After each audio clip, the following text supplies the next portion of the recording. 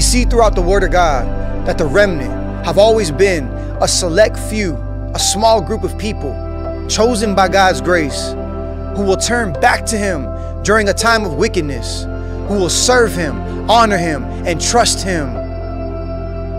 In the book of Isaiah, chapter 1, verse 9, it says, Except the Lord of hosts had left unto us a small remnant, we should have been as Sodom, and we should have been like unto Gomorrah.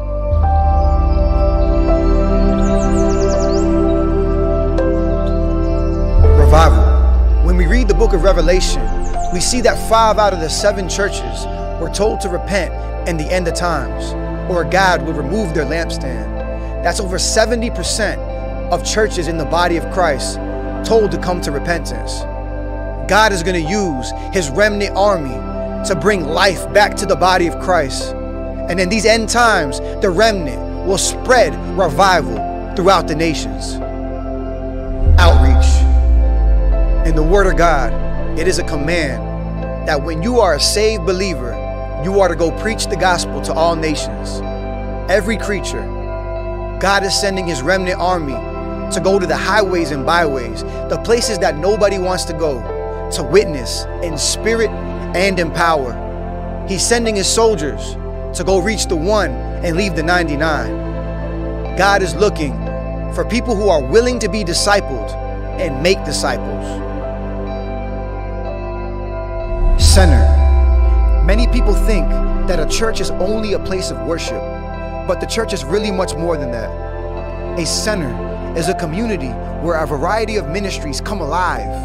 RROC, the Remnant Revival Outreach Center, will be a place where people with different assignments, callings, and destinies will come together in unity to glorify Jesus Christ. We need to normalize discipleship and true accountability in the body of Christ. The Remnant Revival Outreach Center will be a training facility to equip the saints not only in person, but also digitally throughout the nations God is doing a quick work using the digital spaces. The return of our Lord and Savior is right around the corner. The Remnant Revival Outreach Center is a place where you can be planted and grow into your calling, your destiny, and your ministry.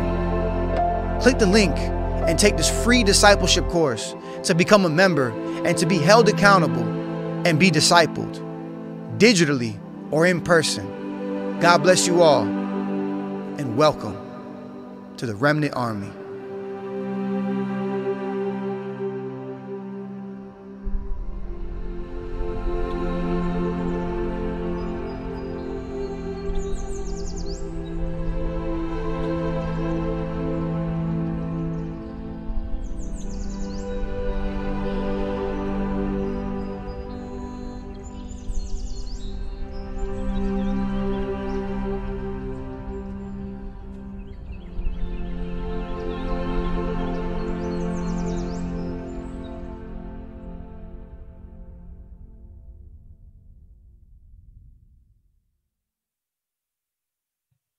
What's going on, everybody? Welcome back to the Remnant Revival Outreach Center official live stream. Your host today, Alexander Lorenzo. That's me, the guy with the mustache. And today is going to be a beautiful service. It's going to be a uh, Deliverance 101, the Deliverance Ministry, how to cast out demons, heal the sick, as well as how to get deliverance for yourself, taught by Apostle Richard Lorenzo Jr.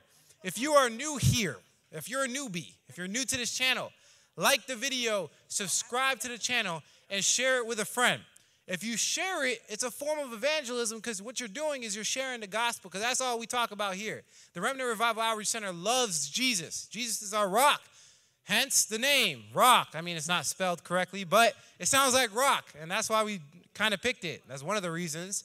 And if you listen to the name, it's actually an outreach center. So remnant, right? Remnant army, right? Select few. Revival, right? What is revival? A whole bunch of people getting saved. Revival is breaking out right now. Outreach, that's obvious. Center, it's a center, right? So here, specifically, Apostle Richard Lorenzo Jr. actually trains people to be sent out and to, to start revival. So a lot of people come here from different churches and different places all over the world to just get trained up. And obviously the DNA of this church is uh, specifically evangelism. So In this video here, we're going to be talking about the, the subject of deliverance. And that obviously plays a role in evangelism. Because sometimes you can get a word of knowledge, things start flowing, someone gets deliverance on the spot. Next thing you know, 10 other people around you are freaking out, like, yo, this is crazy. What is that? Next thing you know, they're convicted and they're getting their, their breakthrough as well. They're getting the gospel and they're, you know, it, it's miracle signs and wonders, right? And one of them are is deliverance. So it's gonna be a very insightful video. It's gonna be amazing. And again, just really quickly, like the video, subscribe to the channel, and share it with a friend. Now, while you guys put where you're from in the chat, put where you're from in the chat, go ahead and put it in there. I want to talk about the discipleship course. So there's a discipleship course, and it's on a platform called Skool. Deaconess Dana, you can put the link for me. Deaconess Dana is going to put a link, and in that link, she's going to pin it to the top. There's a link within the link. There's a link within the link, and it's basically the course. It says free discipleship course. It's 20 kingdom principles. This is exactly how it goes. You get through the 20 videos. It teaches you our doctrine, the way we think, and everything's backed up with scripture. 20 kingdom, uh, 20 kingdom principles taught by Apostle Richard Lorenzo Jr., all backed up by scripture. So it's kind of like it's discipleship. Then you get invited to a private group in Skool. In this private group, there's a gamification ranking system. Basically, the more interactions you do, the more likes you get on your posts, the more high quality posts you put out, the more you talk to people, the more you basically gain reputation, uh, reputation within the community, you actually rank up. Now, we just launched a second private group, and this is the second Skool. This is where you're actually being trained up to be a leader. Now, I can't disclose specific details, but I heard through the grapevine, I heard through the, the, the rumors that in this second sec, like so you got the first 20 videos, the, the, the, the private group. In the second private group, I heard there's gonna be some very, very high quality training, evangelist training, financial training, all different types of videos are going to be in the second one so it's going to get like even deeper now the reason why we put this uh, filter it's kind of like a filter because a lot of people they say they're living for christ but they're not really living for christ right they're just you guys ever have that friend that he, you know, you say he's your friend, right? And you guys hang out, but behind you, he's talking smack about you. He's low key taking money from your countertop, right? Like he's not really a friend, but he's saying he's a friend. A lot of people do that with Jesus. A lot of people say they follow Jesus, but they, they just they like everything that comes with it. They like the show, but they don't actually follow Jesus. And it says in the Bible specifically to make disciples of all nations not Christians of all nations. The difference between a Christian and a disciple is pretty big. A disciple is a student, someone that follows with intent, that really wants to learn. Like, think about what a student means. Like, he's sitting down, like, I want to learn. Like, you know, that's what a student is. So, we created this filtration process on purpose. A lot of congregations, I'm not going to call it out specifically, I've been to some, they're, they'll do anything to get new members. They're like, we'd like to do the opposite right? Less is more. We, we, try to have high quality individuals. We try to have people around us that are very serious about the gospel, extremely serious, and there's dimensions to it. So, you know, as you get further and further, you rank up, get to the, this group, get to that group, you get deeper, deeper into the private inner circle. And obviously, as you go deeper, the people that you're around are more, they're more serious about the gospel. They're taking it, there's definitely levels to that. Um, so I want you guys to know that, that is, that's how the system works. It's kind of the opposite of like mega churches. Like mega churches are like trying to get as many people in no matter what, and they compromise. We do the opposite of compromising. We stick to the Bible as closely as we possibly can. We do it aggressively, and we make sure it's followed and it's biblical, and we hold each other accountable. So if you're looking for discipleship, join the group. Why? Because we have a we have an interview coming up. Why? Because we're training up leaders right? The goal here is to save a billion souls. I say this every service. We're trying to save a billion souls. I know there's some people when I say this, they're like, they're like, okay, a billion souls. Like, okay, right? They're probably like, whatever, bro. That's one ninth of the entire human population. It's a big number. But what we're doing is we're trying to disciple leaders. We're trying to make leaders. Why? Because if you have a million leaders, which is that's a doable number. I mean, think about the influencers. Some of them, I mean, what Mr. Beast has like 100 million followers, right? So if you can get a million leaders, or if you can get 10 million leaders to all help and reach 100,000 people, that's where those numbers start become realistic. right? So the system that we're putting in place is actually to rise leaders. We're not selfish. We want other people to start congregations and to start their own branch of Remnant Revival Outreach Center. Hence, why Apostle just popped up in New York randomly to do what? Evangelist training. He literally went out to New York, did not tell nobody, did a pop up, told everybody to pull up, and started evangelizing to show people. There's a reason why he live streams all of his evangelism techniques and just gives it out.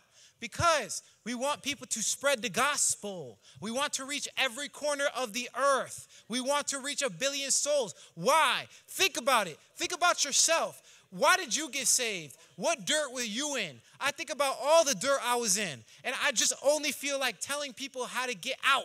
We have found the answer, and the answer is Jesus, and everybody should know, and that is the DNA, and that's what I want people to know. I hope you feel the Spirit of God. Where are you guys from? I'm gonna leave it in here. Click the link, click the link, click the link. Get into the discipleship course. All right, we got someone here. Let's do Come over here for the interview. I'm screaming at the camera too much. All right, what's your name? Louis. What's up, Louis? Now, what? Pretty good.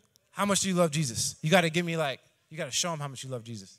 There's no number. There's, There's no, there's no number. there's no number, no match, no, no nothing. And I, I, I know him, uh, the way I remember him is one time I was walking outside to go get some food, and he was, he was speaking in tongues around the entire parking lot. You remember that? Oh, yeah. Yeah, he was like he was like I don't care, bro. I'm getting out of the church. Started firing up the entire parking lot. Like I just seen him. He's on. So let me ask you a question. You're on fire for God, right? Oh, yeah. Oh. You're serious about it. Yep. He serves faithfully. He comes to the church. What have you learned at the Remnant Revival Outreach Center that maybe you could share with somebody that that doesn't have an ecclesia, that doesn't have a church, that just kind of it's kind of half doing. You know, it says don't forsake the assembly of saints, but they're not pulling up. What would you say to them? Um, this church has really given me discipline in serving, in staying faithful, in seeking God, in pretty much every area of my life. I can I can say this church has really uplifted me. Amen. And you're not lying, right? I don't know. Be honest. Don't don't lie. Like for real. Nah, You can tell the truth. I am. So you actually feel like it helps you a lot in your in your personal life. Oh yeah, yeah, one hundred percent.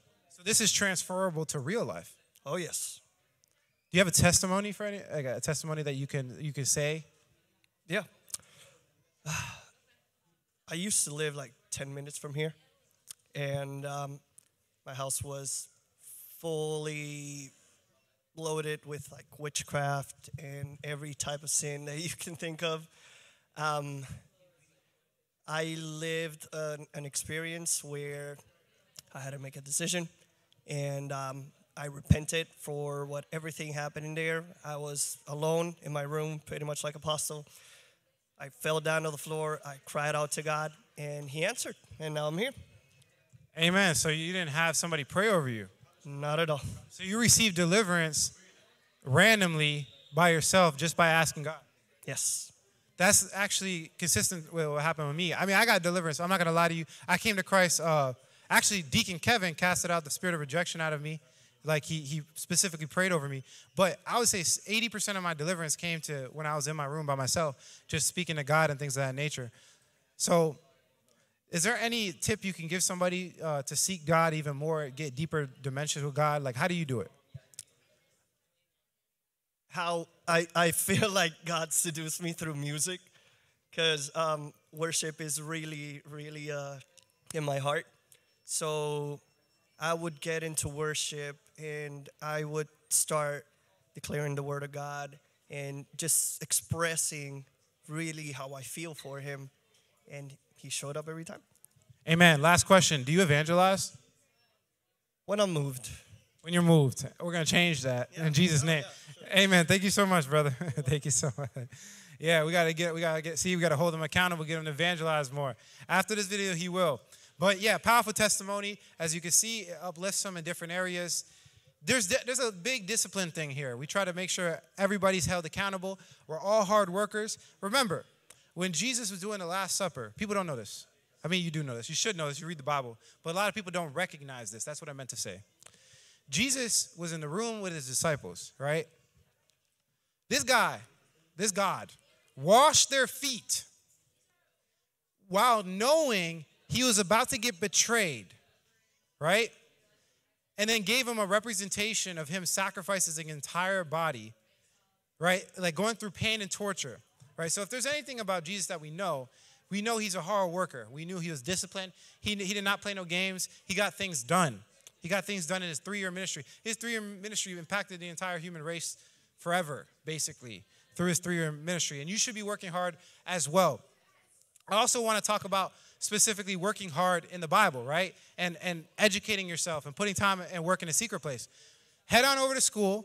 There's Bible studies, three a week. We do three Bible studies a week currently right now. I actually host one of them. And in the Bible studies, we actually, what did you say? In the Bible, she's trying to speak to me on the side. You might as well just come in.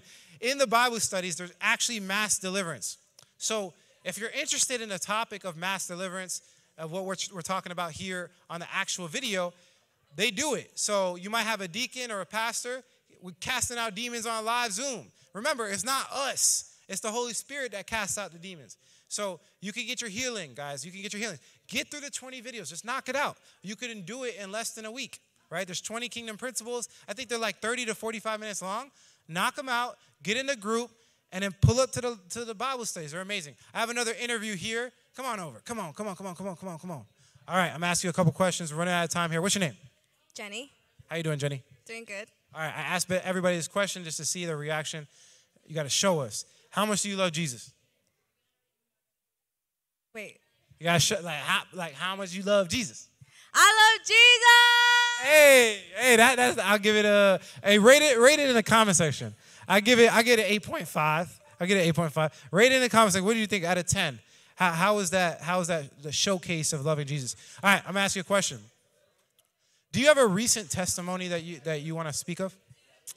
Um, I would say it's pretty recent. I would say um, ever since moving to Orlando, uh, we knew that it was God moving us to Orlando because we were looking for like a, a good home church and we were driving from Tampa to Orlando coming to the Rock and we didn't have any money to move and it ended up being that uh, we ended up getting evicted in Tampa but God provided money like my husband got money in his bank account from his school randomly and we, it covered our costs to move to move into apartment. We didn't have to pay a deposit at the apartment that we got approved for and like we just knew like god wanted us to be here in orlando for the rock. Amen. Amen. A lot of people move including me. I, I moved from south florida up here just for the church Bro, there's a lot. Like, there's so many people. I was talking to Dre. Shout out Dre. He's moving up here. So many people are coming because the power of God is here, man. The Spirit of God dwells within here. The fruits are showing. People are getting saved, right? And I want to be around that. I want to be about about the legitimate, like the truth, right? You would say the same, right? Yes, for sure. The Holy Spirit moves heavily here. Yeah. Amen. And now, do you have like a recent revelation like a just like a simple revelation that you caught, like reading the Word or experiencing in life and being taught by the Holy Spirit?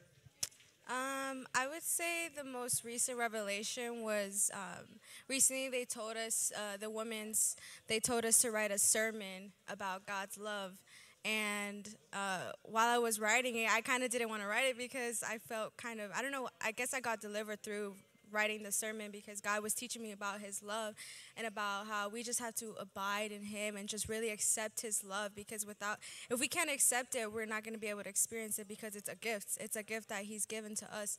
And when once you accept it, you get to know your identity in Christ and really walk that out. Amen. And I, I you know, the woman of God holds you accountable, right? Yes, for sure. Uh, uh, there's no room for error, right? Well, there's room, but you're saved, right? Yeah, exactly. Amen. Any other any other final thoughts? Uh, no. Just come experience God's presence here. Yeah. Amen. Thank you, Jesus. Thank you so much. All right, last interview. We got three minutes left. I'm gonna knock this one out quick. Come on, brother. All right, what's up? So, if you guys didn't know, um, what's your name again? Joshua. Joshua here. What was it? How long ago? Like three months ago? Oh yeah, about three months. Three months ago, you got saved, right? Radically saved. He got called out in the audience, and Pastor was, or Apostle Rich was like, yo, you're a drug dealer, right? Mm-hmm. And then what happened? Um, well, when I first came here, first like they was telling people to bring up their vapes to the altar, and I was like, oh, okay, like I'll bring up my vape. But I had like a bunch of vapes at home and stuff too. So then I was like, okay, like I'll give up the vape. I'll see like what this about. And then like when I went up, he's like, give up everything, and I was like, oh, okay, like now I gotta give up everything. Like if I'm really taking this seriously, and it made me think like, like do I really want to take this seriously? And like originally I had went up for um because I, I wanted to like I wanted to like stop having like nightmares because I would always have like nightmares and sleep paralysis and it would be like really bad to the point where I would like just not sleep for like a day or so just because I didn't want to like have sleep paralysis or none of that. So like um I went up for that specifically, but then he told me like this is the cause of that, and if you want to get at the root, then you're gonna have to change completely. Amen. So so um yeah, he brought mar- he brought weed to the altar. So Apostle was like, "Yo," and you guys can watch the video. It's like on the live streams. Go look at it. Apostle was like, and there's I think there's a regular video too, not just a live stream. Apostle was basically like, "Hey man, I'll buy the weed off of you and, and burn it and throw it away." So you ended up bringing it, bro. That's grace, bro. I'm gonna be real with you, bro. That's grace. As Yeah, for sure. Cause even like um when I went up there too, like um Apostle had said like um I'm not I'm not going just like deliver it from like I'm not just going to deliver you. I'm going like make sure you like give up the old lifestyle that you was having. Cause if I just deliver you on the spot, you're gonna get delivered, but you're gonna come back even worse. Yes, that's that's one of the uh, deliverance principles. If they if you cast out a demon, there's seven more looking to re-enter the body through legal right. So you don't want to cast out demons and people that you know they're not taking it serious. But thank you so much. You took it serious. He's here. Thank you so much. Peace out, man. Thank you so much. He's trying to help as many people as possible. That's it for the pre-show. Thank you for watching. Enjoy the sermon. Enjoy the worship. Catch you guys later. Alex out. Peace out.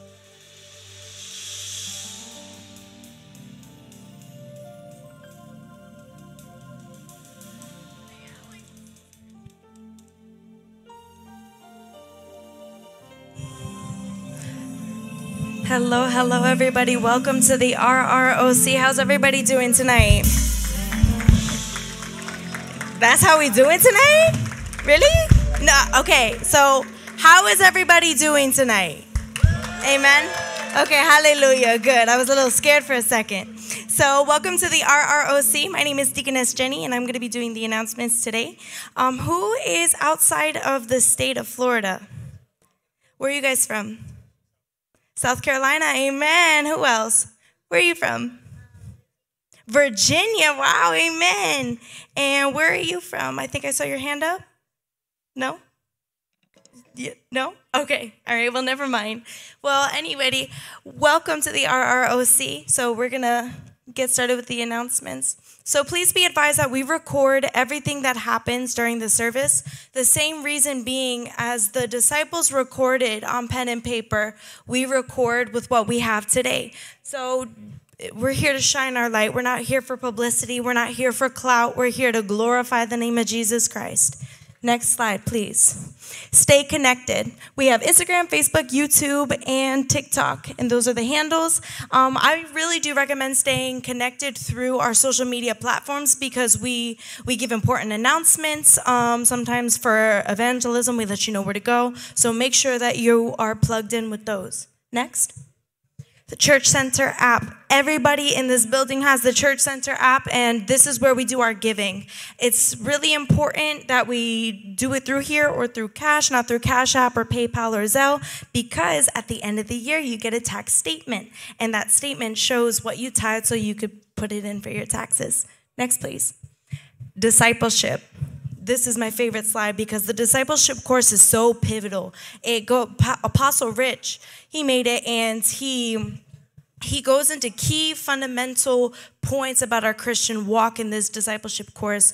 And it's it's good. It doesn't matter if you're a seasoned Christian or you're a brand new Christian. Having these down pat is so important.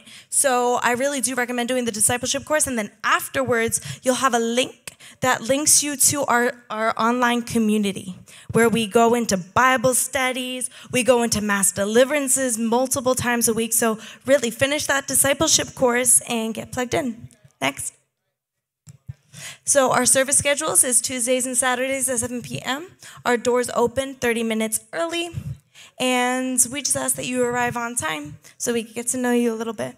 Next slide, please outreach. So join us for outreach. We are an outreach church. It's literally in our name. And what outreach is, it's evangelism. It's spreading the good news of the gospel. It's spreading who Jesus is to the lost. We go into the highways, the byways, the places, the places that people don't want to go. So we need help because it says that the um, the harvest is ready, but the laborers are few. So come and join us. Come and evangelize with us. Come reach the lost with us. Amen.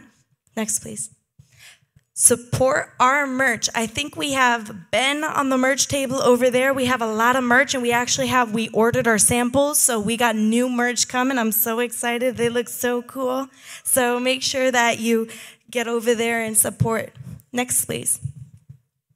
And lastly, please silence your cell phones. Ain't nobody want to be that guy where your phone's just ringing in the middle of the service. Amen. So please just silence them or turn them off altogether.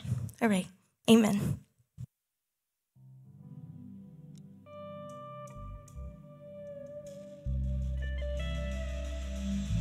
God bless everybody. How you guys doing tonight?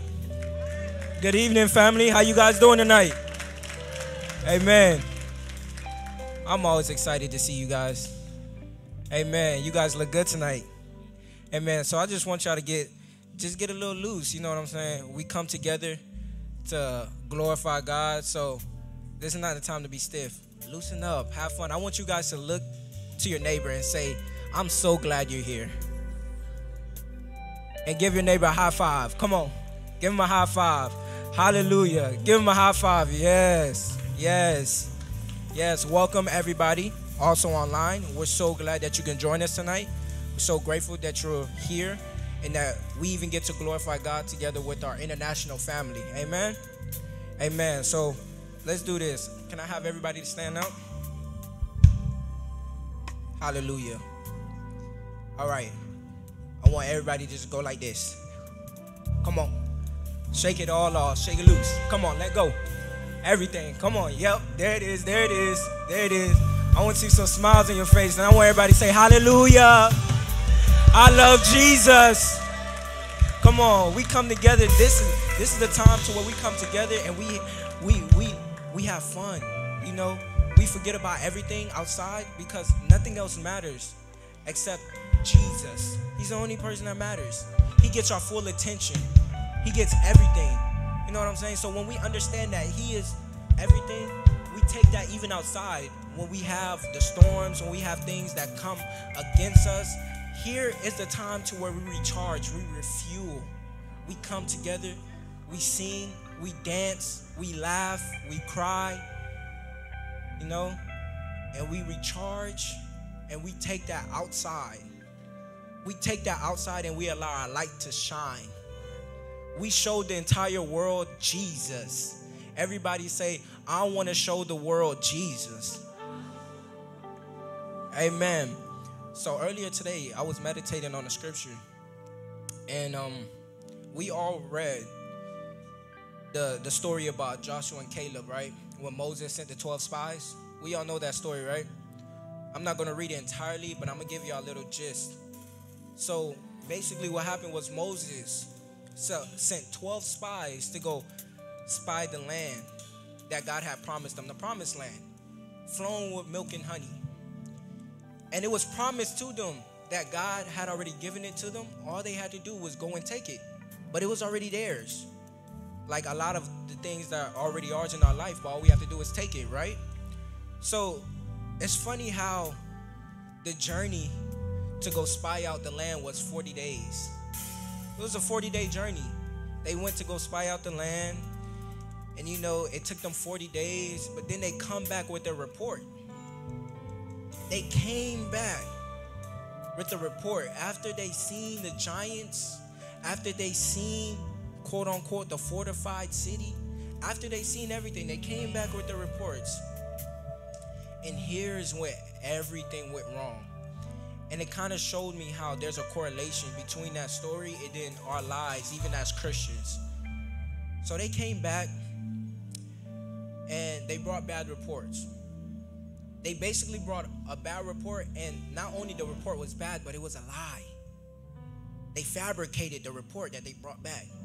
They exaggerated the report, all of the above. And I understood why God was so upset because with that bad report, the people, all the people above the age of 20, 20 and above, they all died. They were all struck dead. God said you will not inherit that, the, the promised land. But when you think about it, it goes deeper. Because there are promises that God has promised us. It is ours. But despite the promise, we say it's too big for us. We will not achieve it. The giants that they acknowledge, the giants that they acknowledge, how many of us have giants in our lives that we acknowledge?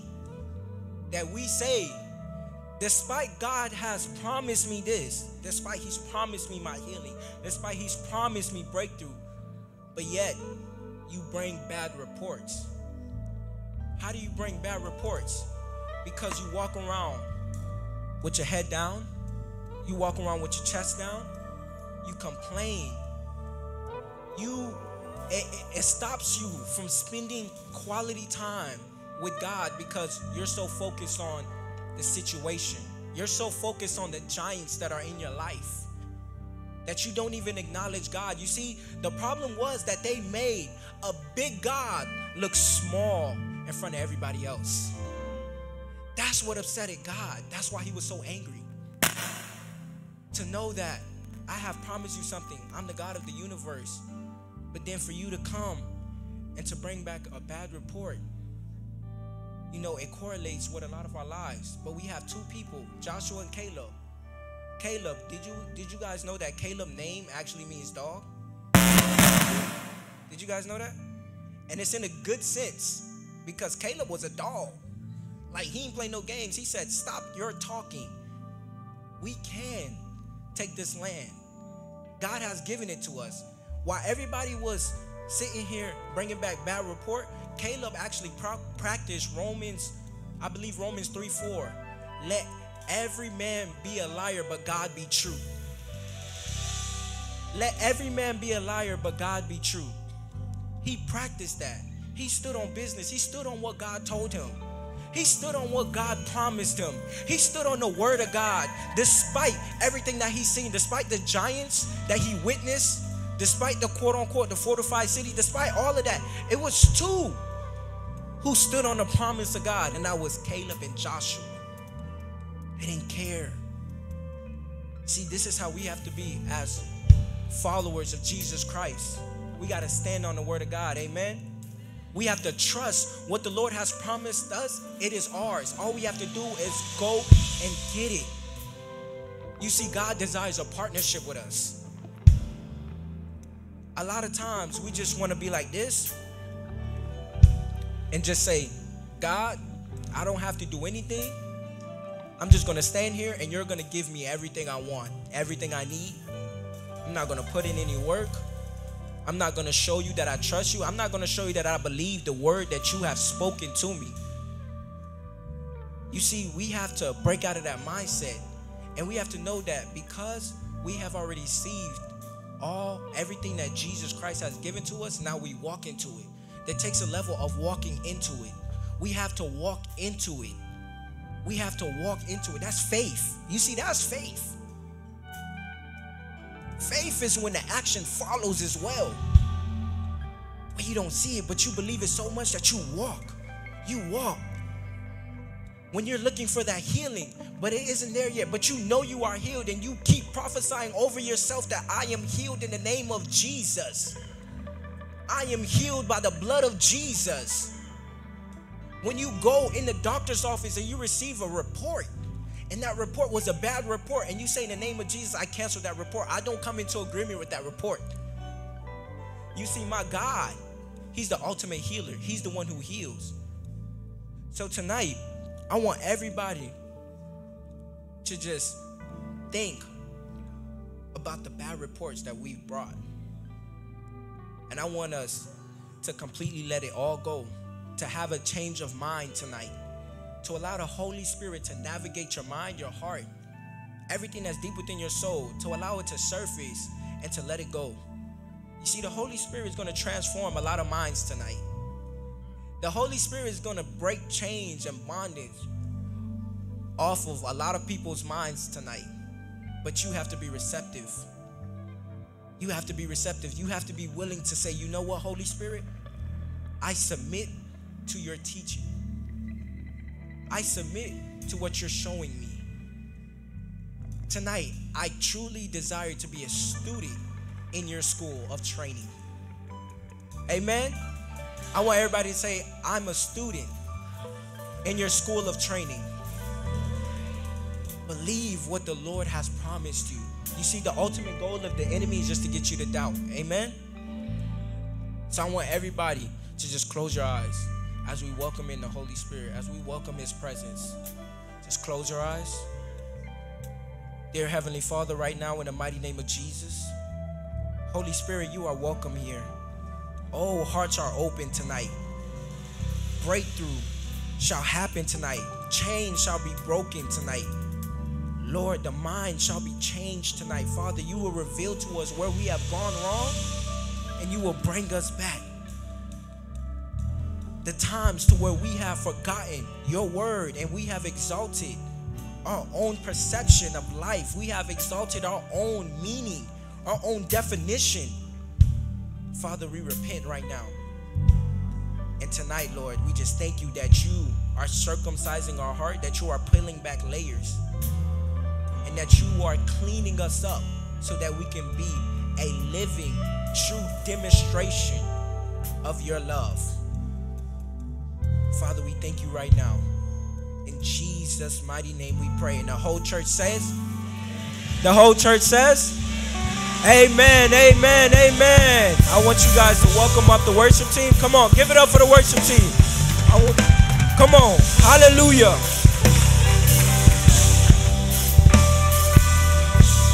Give Jesus a shot of praise in the house tonight. Give Jesus a shot of praise.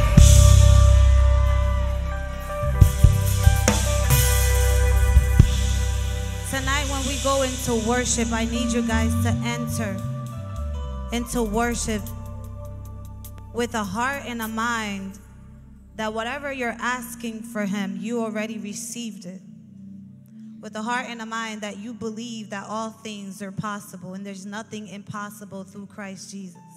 If you enter worship with that type of mindset and that type of heart posture, there is nothing that you can ask Him that you will not receive, that you already have received since He died on that cross 2,000 years ago. Tonight, we're gonna let go of every single heavy burden. We're gonna let go of every single thought that is of, of the enemy. We're gonna catch it captive and throw it down. We're going to use the word of God to fight against the enemy tonight. And we're going to worship the Lord. We're going to give him glory. We're going to praise him. We're going to lose our voice tonight. I want you guys to loosen up. Right now, just shake it off. Shake it off. Shake it off. Shake it off. Start shaking it off. Some people still standing there looking at me. I really literally mean shake it off, man of God. Shake it off. Shake it off. You over there that's standing up, I don't know your name and you're very tall, but shake it off. Come on, start shaking it off. Start shaking it off. Start shaking it off. Start shouting a hallelujah to Jesus. Start shouting a hallelujah to Jesus. Raise up your voice to the Lord. Raise up your voice to the Lord. Give him glory. Give him glory. Give him glory.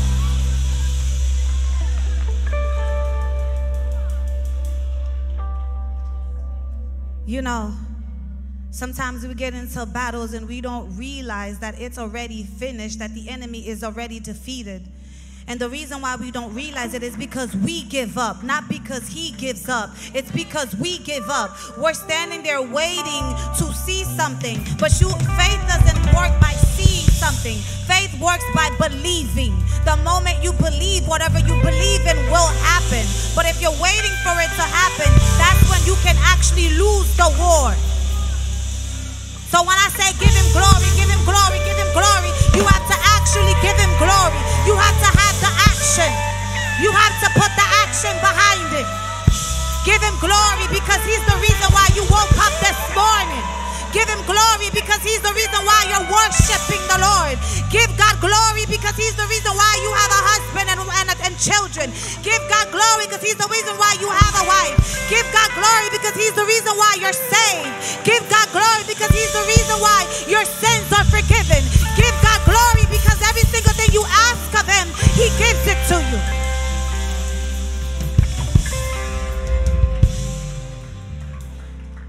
The number one thing I need all of you in this room to remove out of your mind is the approval of man. Do not come to church for the approval of man. And I'm talking about woman and men, it's plural, not singular. Don't come for the approval of men because they're not the ones that's going to give you the things that you're looking for. When you come to church, come with the thought in your mind and in your heart that you're coming to worship the Lord your God. You're coming to surrender everything to the altar to Him. Because although we may not see with our eyes, that you are superficial, He can see that you are superficial. So I encourage you to get rid of that superficial out of your heart and start being real with the Lord. Tonight we're going to be real with the Lord Jesus. And whoever opens up their heart to be real with the Lord Jesus will receive every single thing that they're ready to receive because He has it on the palm of His hand, ready to give it to you. Because where the Spirit of the Lord is, there is freedom. I said, where the Spirit of the Lord is, there is freedom. I said, where the Spirit of the Lord is, there is freedom. Who in this house is free? Who in this house is free? Who in this house is free? Who in this house is free? Who has gained the victory through Christ Jesus? Who is more than a conqueror in Christ Jesus? Who in this house is receives the freedom of the Lord Jesus? I want to hear you give him glory, give him glory, give him glory. Shout Jesus. Shout a hallelujah to Jesus.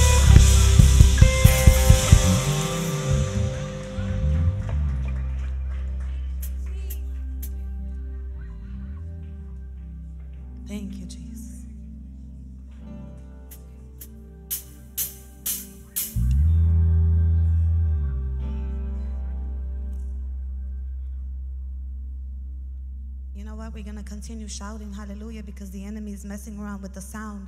But it's okay. We're going to keep singing hallelujah. Keep singing hallelujah. Keep singing hallelujah.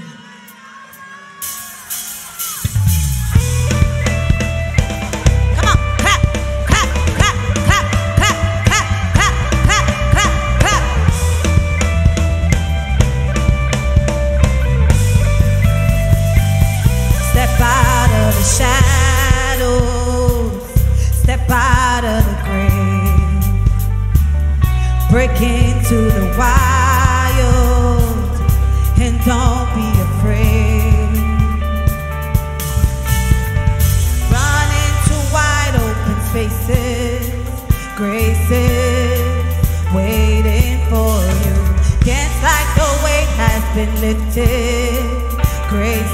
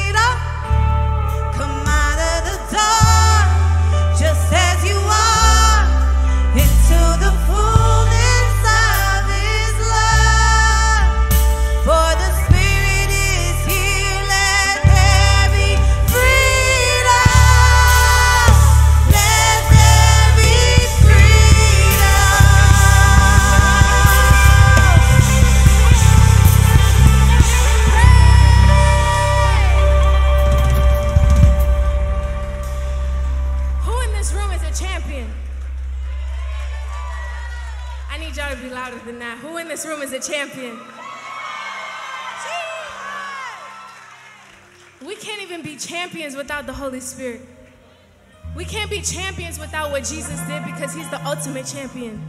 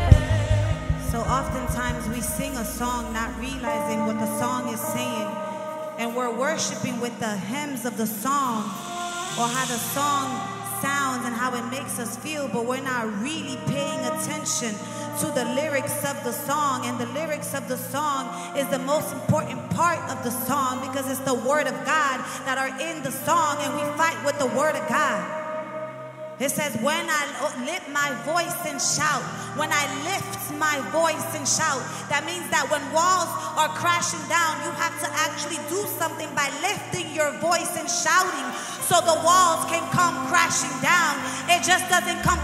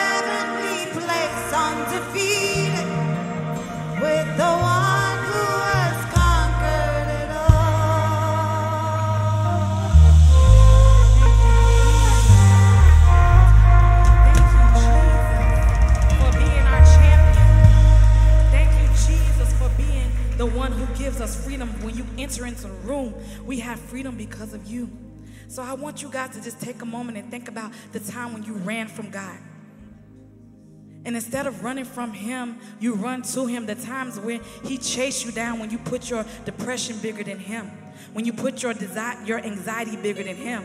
He chased you down. Think of like a time when you had to chase, uh, like you have to chase a toddler or you have to chase your pet, when you have to get them to do the thing that needs to be done because it's important. Whatever it is that they need, and then they don't, we don't know that we're not supposed to run, but sometimes we run. But instead of running from him, we run, we run to him.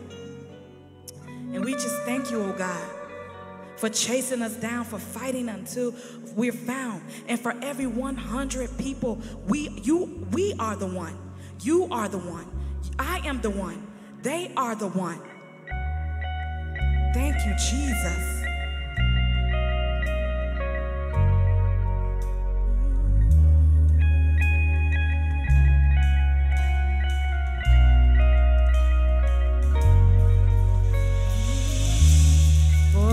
spoke a word, you were singing over me. You have been so, so good to me. Before I took a breath, you breathed your life in me. You have been so, so kind. Oh,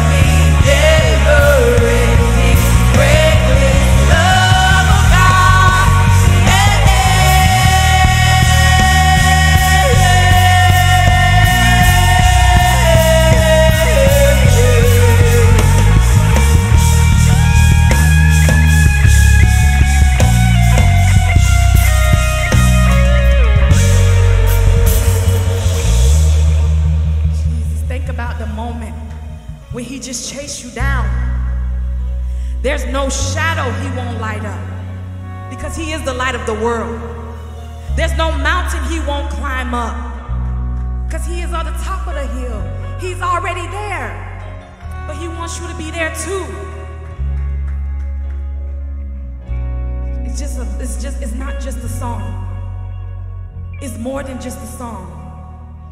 It speaks to your present. It speaks to your future. It speaks to your yesterday. Because you wouldn't be where you are if he didn't chase you down. You're standing in here because he chased you down. He sent somebody to talk to you.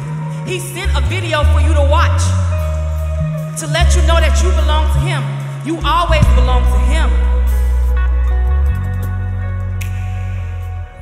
There's no shadow mountain you won't coming after me. There's no wall you won't kick down, lie you won't tear down, coming after me. Come on, let the enemy know. There's no shadow you won't light up, mountain you won't climb up, coming after me. Come on, shout it from inside of you. There's no wall you won't kick down, lie you won't tear down, coming after me. Come on, keep going. There's no shadow. There's no shadow. There's no shadow you won't light up, mountain you won't climb up, coming after me. There's no wall he won't kick down. There's no wall you won't kick down, lie you won't tear down, coming after me.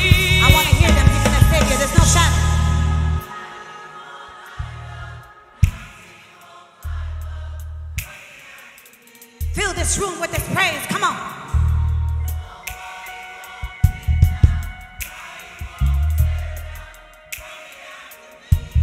Come on, keep going louder, louder.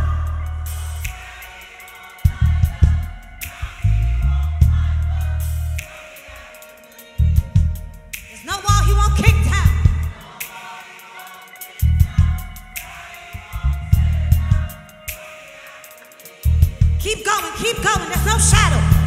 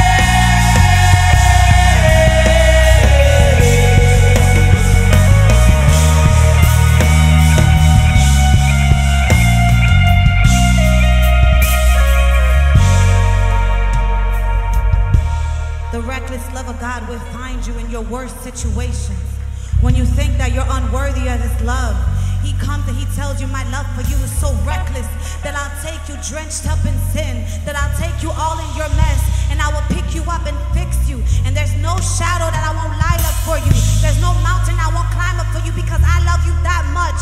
I love you so recklessly that it doesn't matter what you find yourself into. I will always come back for you and keep loving on you. And my love is everlasting and it'll keep going and going and going. So even if you try to run away from the reckless love, the reckless love chases you and finds you. So we give you glory, Jesus, for that reckless love. Everybody in this room, give Jesus glory for that reckless love.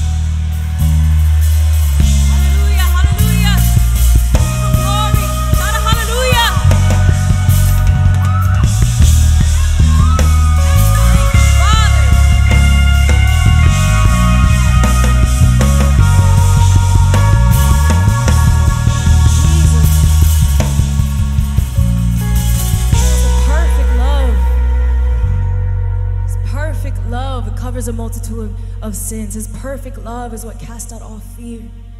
His perfect love is what chases after you. It's a beautiful love. He's so beautiful, and He loves us so much. It doesn't matter what you, you've done, it doesn't matter how bad you think you've fallen. You can always get back up. Hold on to His love. Pull yourself back up. Hold on to the love of Jesus. Allow Him to pour that love into your heart. Don't let the enemy lie to you and make you think that what you've done can't be covered up by the love of God. It's impossible. He has a perfect love for each and every single one of you. A love so intimate, it'll touch each and every single one of you personally. Hold on to that. It's so beautiful.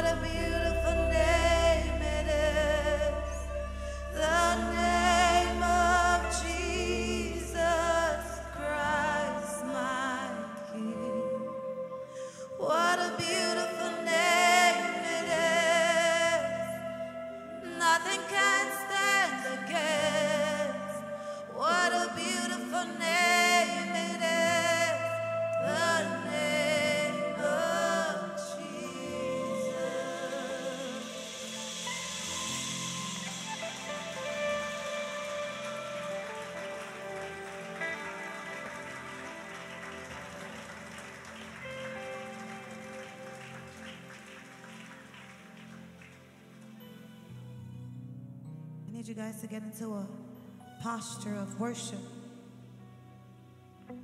A posture of worship where you don't worship with your lips now, you just worship with your heart. Your heart sings a song to the Lord that your lips can never sing. Because sometimes our lips declare that we love Him, but our heart is far from Him. So, right now, let our hearts sing to Him.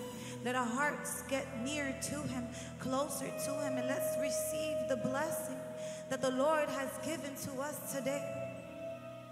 Because the Lord blesses you, the Lord keeps you. He's going to let His light shine upon you and give you peace tonight. So receive that blessing. Receive the blessing of the Lord.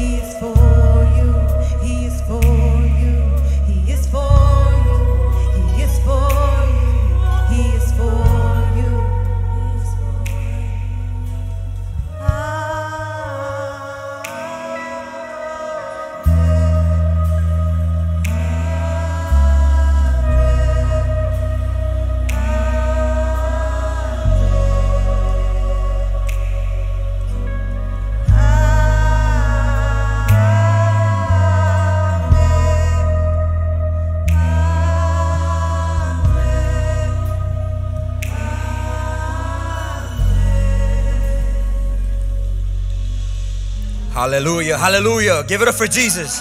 Give it up for Jesus. Give it up for Jesus. Give it up for Jesus. Hallelujah. Hallelujah. Hallelujah. Man, God is so good. He's so beautiful. He is for us. He is for us every time. You know, one of the greatest things that that, that God always reveals to us. He is so loving. He is he doesn't hold anything against us, right? He always steps out to us to reveal to us, "Hey, I got you at any moment. I got you. I'm here for you. Receive it. Receive it. Whether it be his love, his patience, everything, right? And he shows us by what? By that cross. His son. He sent his son. He gave us his son so we may have life. Amen? And I want to talk about something that's very, very important in the kingdom of God. That's actually in the character of God and the DNA of God giving. He gave his only begotten son, right? His only begotten son. I want to say we give unto God because we love him. We love him. He gave his only begotten son because he loved he first loved us. The word of God says that he we did not choose him, he chose us. And he chose to send his only begotten son because he loves us that much. Hallelujah.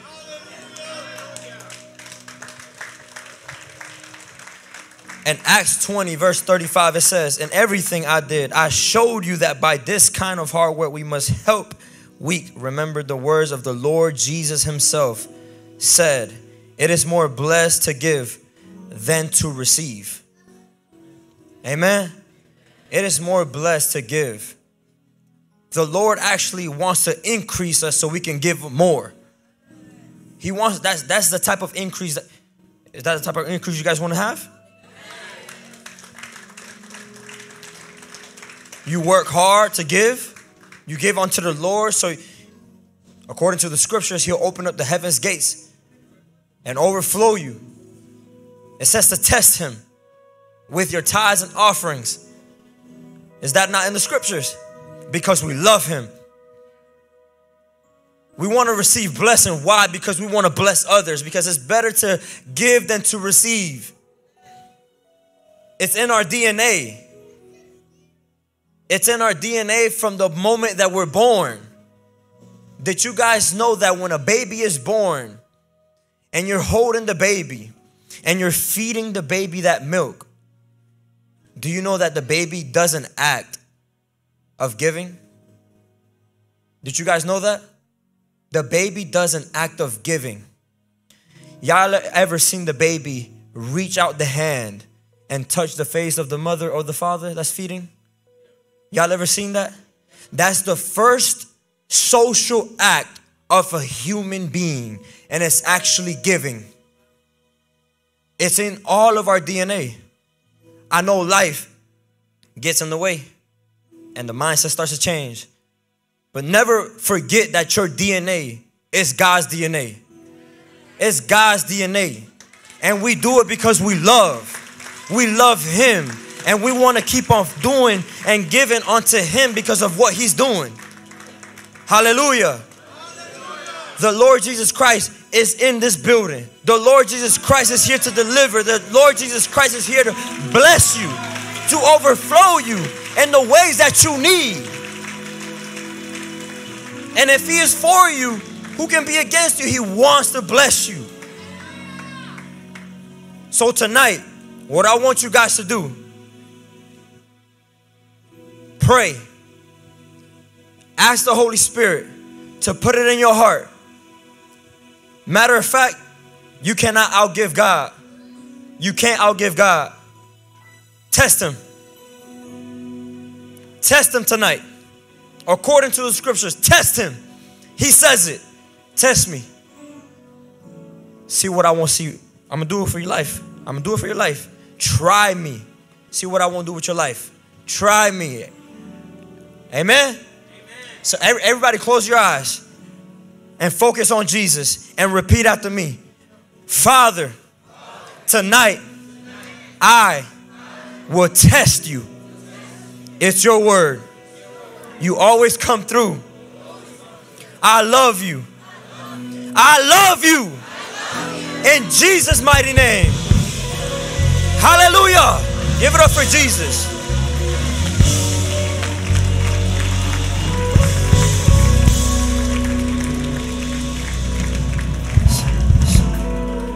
So, guys, we have the giving buckets going around.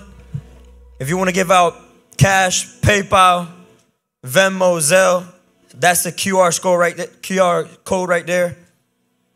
All the ways of giving. Make sure you test God.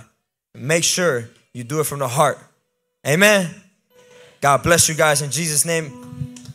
Give it up for the worship team.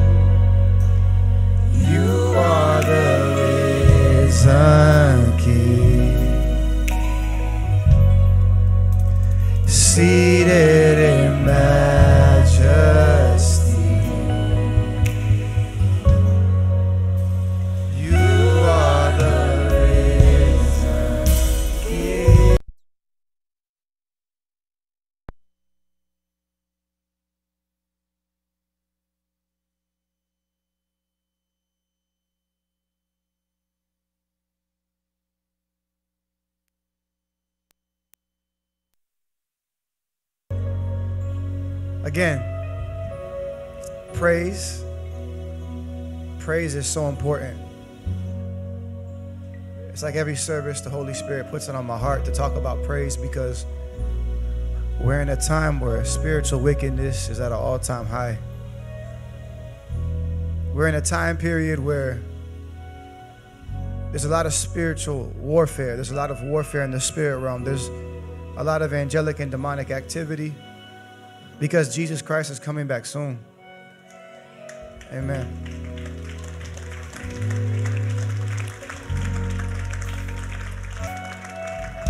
And there's two opposing forces, right? You got the enemy who wants to bring souls to hell. Can you turn up my microphone, please? We have the enemy who wants to take souls to hell. And then we have the kingdom of God, the angelic hosts that want to minister to those who are called to be heirs of salvation, right? Ministering balls of fire for souls to be saved. So it's a it's a war of souls, right? But you know what's so important for Christians to understand is their authority, their God-given authority. If we if we really understood the authority we have here on earth and in heaven, we would open up you guys good? Perfect timing. We would open up our mouth more. If you knew the authority you had as a Christian, you would open up your mouth more and speak more, pray more, praise more. Because if the Word of God says that praise delivers us from a spirit of heaviness, anytime that oppression comes on us, let me give you guys an example. You're driving in the car, everything's great. You're on your way to work, you're on your way to your friend's house, your family member's house. Everything's great. You took a shower, you got ready, you're in the car, you're happy. All of a sudden, a crazy thought comes across your mind and you begin to feel rejection. You feel it on your chest. You feel it in your stomach. You begin to get angry. You begin to get depressed. Those familiar feelings come back. Who's experienced that before? And it's out of nowhere. You see, everyone in here should be raising their hand. The ones who are not raising their hand are not conscious to it. We are spiritual beings that need to realize what's going on in the spirit realm. Our mind needs to be focused on the spirit. Amen. Not carnal things, spiritual things. When your mind is focused on spiritual things, you'll overcome spiritual and carnal things. Amen. But when that's that heaviness comes upon you and you don't know why, and you start to dwell on that thought, instead of digging yourself into a deep hole that causes a, a- a whole reaction of events that don't need to happen, you stop, say, This is not from God. This is not truth. This is lies. And you praise Him with everything you got. I guarantee you. Amen. Praise Jesus. Thank you, Jesus. I guarantee you that that thought, that feeling, that whatever you were dwelling on was will leave real quick.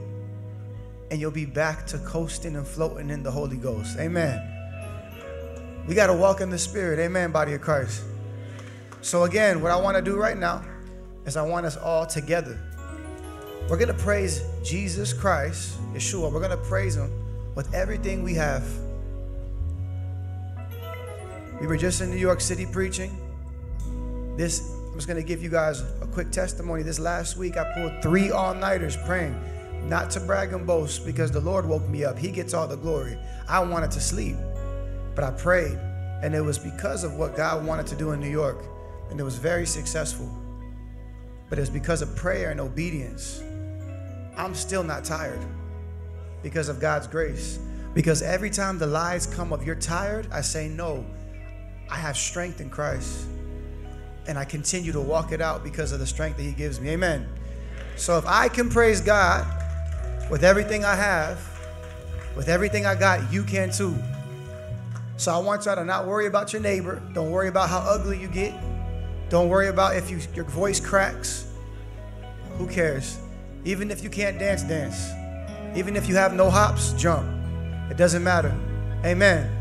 People are going to get delivered and healed right now. I guarantee you. So, y'all ready? I'm going to count down. Three, two, one. Yeah!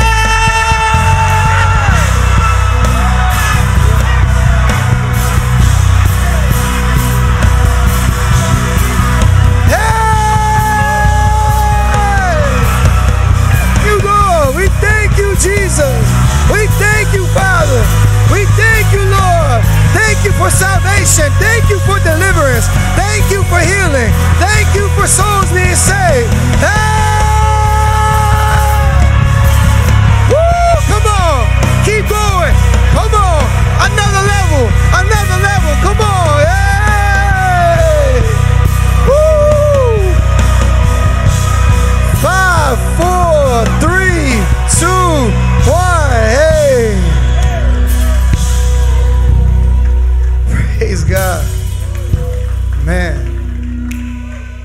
Does it feel does it feel amazing to be a Holy Spirit filled saint? Ooh, man, I love you. Who loves Jesus? Man, me too. This ministry is full of a bunch of radical Jesus lovers. Tonight we're going to talk about your God given authority, and specifically, I'm going to teach on deliverance. Who knows they have the authority to cast out devils? Man, look around. Raise your hand if you know that you have the authority. Look at the hands that are not being that are not raised. Crazy, right? All right, y'all can, y'all can put down your hands. If you have the Holy Spirit, if you've given your life to Christ and you're following Jesus, you have the ability to cast out demons. There's nobody that has a special anointing for deliverance. Deliverance is our food, it's the children's bread. We have the ability to be delivered and, I, and actually cast out demons. Man, the sons of Sceva were casting out demons and they weren't even followers of Christ. There's people who are going to go to hell that cast out demons because they know about the authority in Christ. The name of Jesus is powerful. Hallelujah. So if you're a Holy Spirit filled saint and you don't believe you can cast out demons, what Jesus are you following? That's not Jesus of the Bible. Jesus of the Bible says that he's given us authority to cast out demons, heal the sick, raise the dead, cleanse the lepers. Pray for COVID to go and it's going to go. Pray for deaf ears to open and they're open. I believe the Jesus of the Bible. Do y'all believe the Jesus Christ of the Bible? All right. I believe tonight people are going to be activated into their call. I believe many evangelists are going to be are going to be touched tonight, marked. And I believe that Orlando is going to break out in revival like never before, and that's what we're praying for. Amen. Y'all may be seated.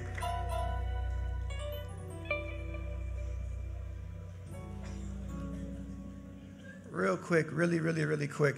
Who's from out of the um out of the state? Anybody from out of the state? Wow, wow, wow. Where are you guys from? PA? Cool, cool, cool. Where you from? You from VA? All right. Who else is from out of the state? Where y'all from? South Carolina. Praise God, man. Who else is from out of the state? Where y'all from back there? Ohio. Praise God. You said it with confidence. Amen. Where y'all from? Arkansas. Wow. I've never been there. I want to go there one day. Amen. Anybody else? Where y'all from in the back? Huh? Jersey. We were just out there. Praise God. Where you from? Mississippi. M I S S I S S I P P I. Amen. That's what's up. Man, I love it because people come from all over to receive that revival fire and bring it back to their city. Man, a lot of people got lit up last night in New York City. We went to um, we went to Union Square, which is one of the prime time areas in Manhattan. A lot of bars, a lot of clubs. It's kind of close. I think it is the financial district. And what's crazy is I used to actually be out there 10 years ago. When I lived in New York, I used to go out there regularly to the bars and clubs. NYU's right there. I used to be all up in that scene. So to be able to go out there right in the middle where the park is, where all the homeless, drug addicts, weed smokers, the drug dealers, where all of them are posted up, where the darkness is really heavy, to be able to go there, bring a baptism tub, fill it up with like 40 gallons of water from Target, and be able to cast devils out, heal the sick, and see souls saved, man, what an honor it is to be used by God to do that, man. For real. God moved. He moved. He moved. He moved. And man, the enemy tried to stop it, but man, because of prayer and because of faith, God came through. I, I lost my voice a little bit, not too much, from last night, but it was powerful, man. So, yeah, we're coming to different. We're going. We're going to be going to different cities. We're, we're planning on going to a different city every two weeks for a pop-up revival. We're not gonna. We're not gonna release it to the day of till we get there. That's what we did yesterday, and within six hours, there was about 200 people who came out. it was powerful, and people got imparted. I mean, I saw testimonies online of people getting saved at the event and going out and praying for people and healing, breaking out, people giving their life to Christ. Isn't that amazing? They got, they got saved, filled with the Holy Spirit, delivered, and then they went out preaching, preaching about their testimony. You know, we're all called to do that. Look, the apostles, they walked with Jesus for how many years? Three years. But you guys have to remember this. They didn't have the Holy Spirit. They walked with Jesus in the flesh. Am I right or wrong? So they walked with Jesus in the flesh. How do we know that? Because even after seeing all the miracles he did, they still doubted and denied. You need the spirit of truth to know truth. It's deeper than knowledge, it's revelation that comes from within by your spirit, man. So when Jesus Christ died on the cross, was buried, and resurrected, and he showed himself onto the, the, the apostles, he breathed on them and they received the Holy Ghost. How many days did Jesus walk with them? 40 days. And then after he walked with them for 40 days, he went past the clouds. How many days did they tarry in Jerusalem before, before they received the power from high? 10 days. So 10 plus 40 is how many days? So for 50 days, they had the Holy Spirit. They had the Holy Ghost for only 50 days. And they were only baptized in the Holy Ghost for 10 days.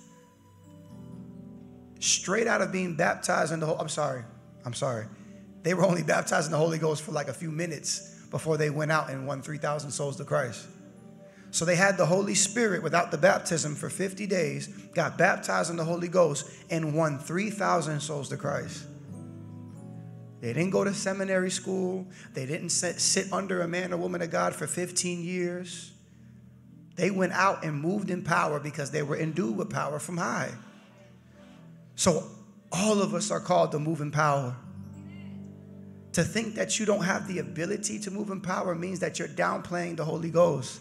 That's offensive.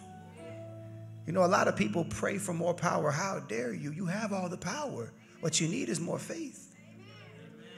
You don't need more power. You got all power. You have the full inheritance that Christ had. Christ, Christ gave you his inheritance. It's your faith that you're lacking. Amen. And we all can grow in faith From faith to faith. Hallelujah. So to, tonight, people's faith are going to increase because I know a lot of people want to cast out demons. There's a huge deliverance movement going on, and I think it's beautiful. Because with so much wickedness in the world, man, it, it needs to be pushed. We don't idolize deliverance, though, okay? We can't take it to, to get religious, but we stay right there, balanced, knowing we have authority. We're going to cast out demons, but we cast out devils because we want souls to be saved. It's a it's a tool to bring bring people to Christ. You know, last night there was Hebrew Israelites, there was witches, there was homeless people. Everyone came surrounded and watched. And in the beginning, I felt the doubt in the air. I began to preach, and the minute someone started getting delivered, everybody who was real angry and doubtful was now like, because they saw deliverance. And I looked up and I was like, wow, this is this is this is why this is this God reminded me. He said, You remember in the streets, people who came to Christ because they saw deliverance? This is the way I bring people in. You know, Jesus, he casted out de- demons in public. Everyone say public deliverance. He publicly did it. He didn't do it behind closed doors. No, he did it in the public for everybody to see. Because he wanted people to know that the kingdom of God was here, was near, was right there, and that the power of God is real. Supernatural power. We have an ability to move in a power that's out of the out of this physical realm. It's not physical, it's supernatural. Say everyone say super. That means it's out of the natural realm. It's supernatural, right? We're operating in the physical and the spiritual at the same time. What do you think Jesus did when he walked through the wall? When he showed himself onto Thomas? You know he walked through the wall, right? What do you think Philip did when he transported? They were operating in the physical and the spiritual at the same time. Some of you looking at me like I'm crazy. No, this is real. There are levels in Christ that you can access that will blow your mind, but you can't get there if you can't get the little faith, the beginning stages, to know that you can cast out demons. We should be casting out demons the day we get baptized in the Holy Ghost. You don't got to wait. You know how many people I've personally seen get saved, delivered, baptized in the Holy Spirit that same day go out and evangelize and casting out demons in the streets? I've seen it a lot of times. Amen. So, people t- tonight are going to break out of doubt, religion. We're going to have a mass deliverance. It's going to be beautiful. Amen. It's already done. Jesus already prepared it. It's going to happen. It's all for the glory of Jesus. Hallelujah. All right, so I'm going to teach, and I'm going to teach from a book that changed my, my life, I would say, that put me, that fast tracked me in deliverance. It's a book that I bought that I, um, that I, that's, that's, that's near and dear to my heart. Timeless book. Um, this man of God is in heaven now, but man, to this, this very day, to this very day, he's still winning souls. Derek Prince, mighty man of God, and the book is They Shall Expel Demons. Who's read it? Oh man. Pull out your phones real quick and just, and, and if you want to, go on Amazon and you could type in They Shall Expel Demons by Derek Prince. If you want to learn deliverance, read this book. I got halfway through this book and I was casting out demons. Just being honest. They shall expel demons. We're going to read from it. I'm going to teach from it. It's a biblically sound book. Powerful man of God with a powerful testimony. He's a father in the faith to many. Many of the deliverance ministers you see right now that are well known learn from Derek Prince as well. He has a lot of teachings um, online as well, a lot of sermons. His voice is very monotonous. Y'all know what that means? Very like monotone, like uh, like very boring. I remember when I first ran across one of his videos. I was on YouTube. I was watching something totally different. I saw it pop up. This is when, around when I first got saved. And I remember, you know, hearing the voice of the, the, Holy Spirit say, you know, click on it. I clicked on it, began to listen to his sermon. I walked away and I heard the Lord say, go back. And I started watching. Within 15 minutes, I was already getting delivered. And I watched it all the way through and I was like, man, this guy is powerful. His voice is, anno- is very boring, but he has power behind his words. It's not about how loud you can get or how eloquent or educated you are. It's about the anointing. Everyone say the anointing. You can yell all you want, and nobody gonna listen to you if you don't got power. There's a lot of people with no anointing that are, that are teaching behind the pulpits, and that's why you see no transformation in the church. That's scary. Same congregates, same service, nobody changing, nobody being risen up in leadership. That's religion. The Holy Spirit is supposed to transform, it's supposed to change, convict. We're supposed to grow. Everyone say, grow. If a tree grows, right, it's first planted, the seed is planted, and then it grows. And we're supposed to grow like trees. Why don't we see growth in the body of Christ like we should?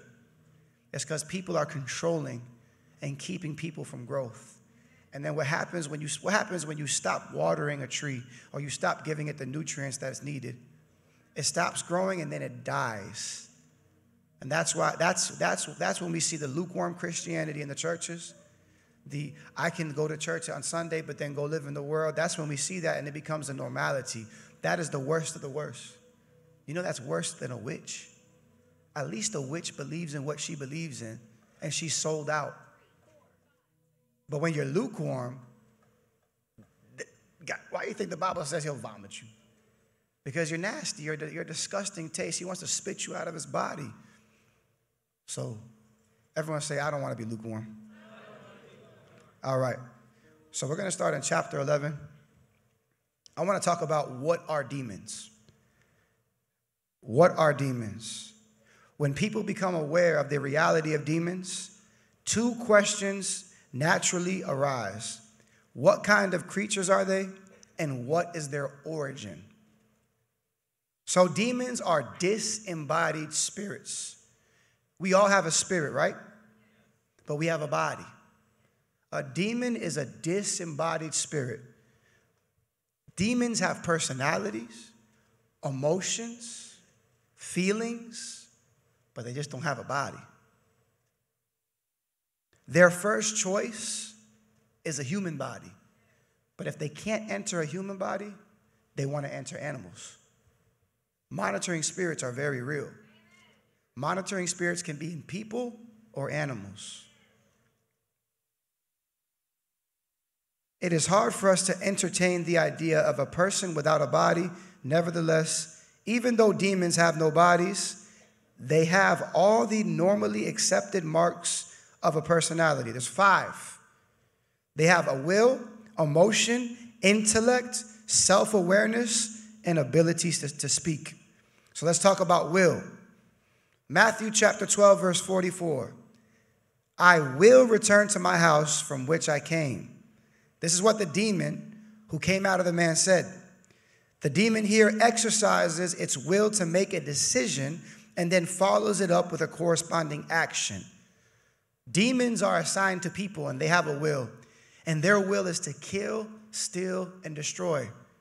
Their will is to take us to hell. There's a lot of people who have had near death experience and described that when they left their body, there was demons waiting for them who dragged them to hell. They called upon Jesus and God's grace saved them and brought them back and gave them another chance. So when you die, you're either going to be led to heaven or to hell. There's no purgatory. Emotion, number two. James chapter 2, verse 19. You believe that there is one God. You do well. Even the demons believe and tremble. Even the demons believe that Jesus Christ is the only way. And they tremble, they have emotion. Think about what happens when you get really scared. You tremble. Think about when you're gonna go through a situation that makes you nervous. First time you were gonna go on a date. First time that you were gonna go to college, right? You got nervous, some of you were trembling.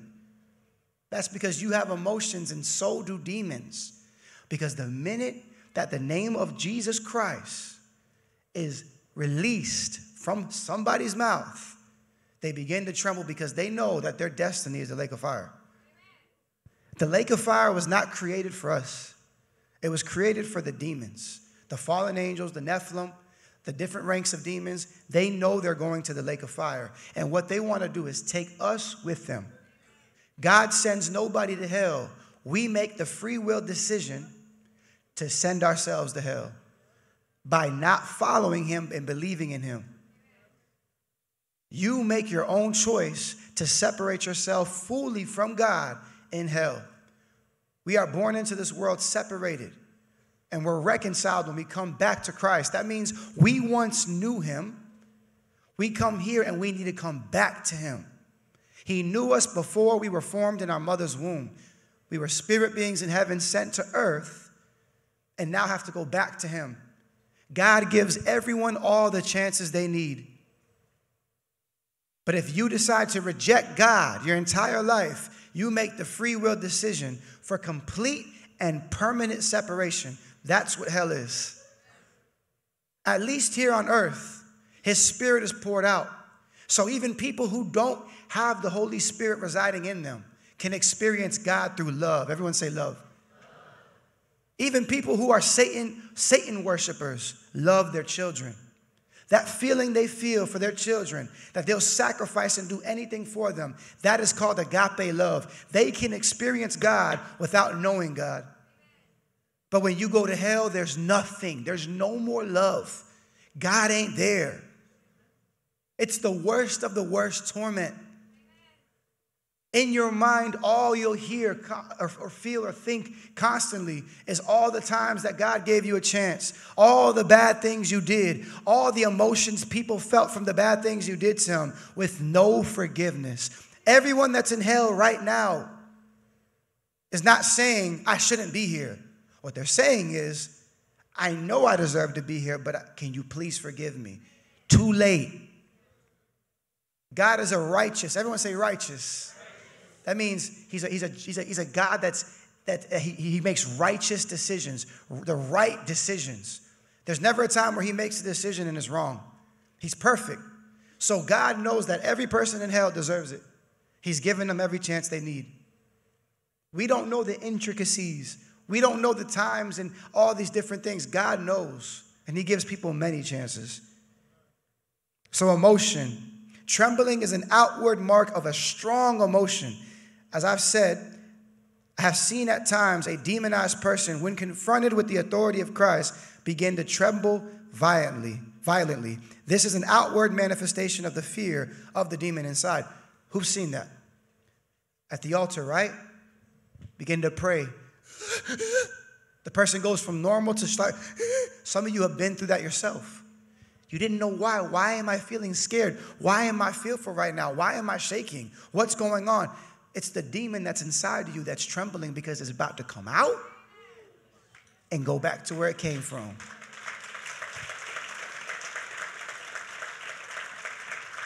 And then, as soon as you get delivered, you feel so amazing.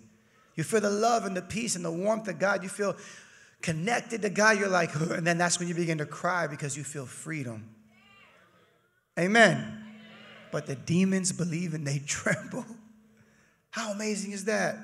That our God makes every demon tremble, the highest ranking principality, every fallen angel, every low level demon, all the demons that we can't see in the spirit realm tremble at the name of Jesus Christ. And even they believe there's one God. Then why are there so many people who don't even believe in a God?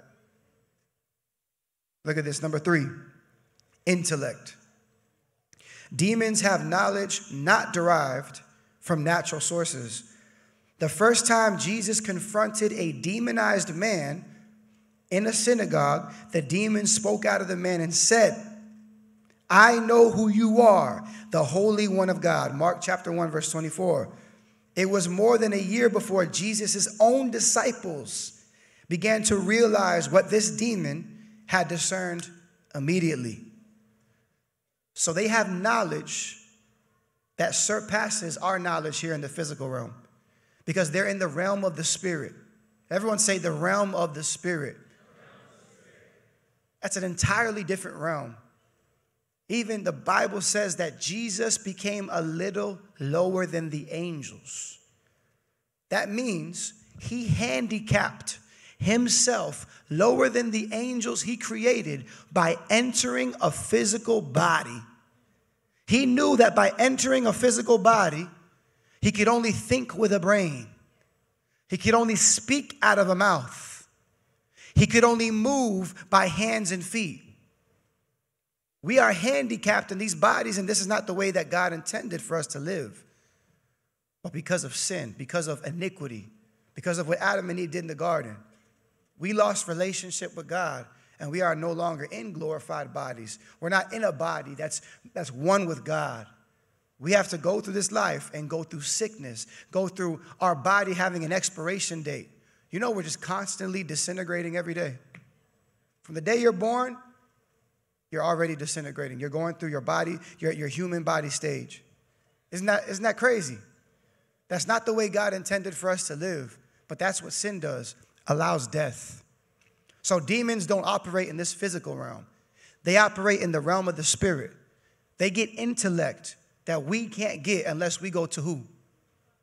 So if God is all powerful, we have direct access to the, the connect, the all powerful, the one who sees what the demons are doing. So when you don't stay connected to the vine, to the one who knows all, what happens? Demons will outsmart you. I don't care how smart you think you are. You can come up with all the possible, the possibilities. You can, in your mind, you can think this is how it's going to go. And This, and if you don't pray and humble yourself, these demons will have a field day with you. The lowest ranking demon can outsmart you because they're in the realm of the spirit.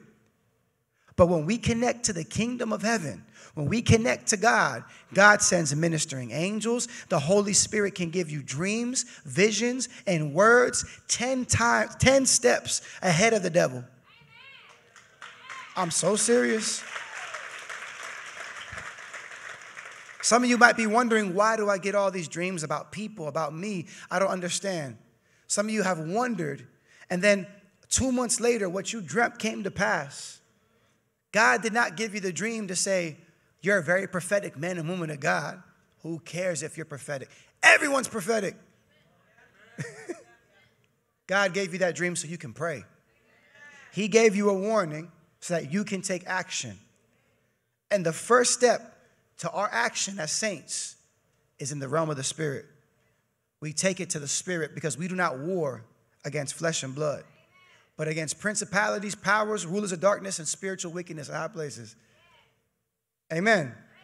This is why we have to be spiritual beings. We cannot be carnal. We cannot focus on the physical things that are happening because if we do, we'll get got real soon. That's what the devil wants to do. He wants you to he wants to bring you down from the third heaven and bring you either to the second, which is where all the emotions are, or the first. Bring you right down here. Stay right here. Look at what's in front of you. Why do you feel look at those emotions you're feeling? I was just explaining this earlier. When you feel that, that weird feeling inside of your body that makes you do something you don't want to do, you need deliverance. I'm going to give you an example pornography. That's one of the biggest stumbling blocks for most Christians, man and, man and woman. When you get delivered from that spirit of Jezebel, incubus, succubus, perversion, whatever demon it is, when you get delivered from that spirit and that temptation, that attack comes after you, you literally feel like you have control over the situation. You'll sit there and be like, wow, I'm not gonna, I don't, I don't have to watch porn. But you have a free will decision to say yes or no, right? But people who have an unclean spirit, you almost feel like you have no control over it. You just go to the porn and you might even be crying, I don't want to watch, and you watch the porn. Because your faith is not at a level where you can overcome it and you need deliverance.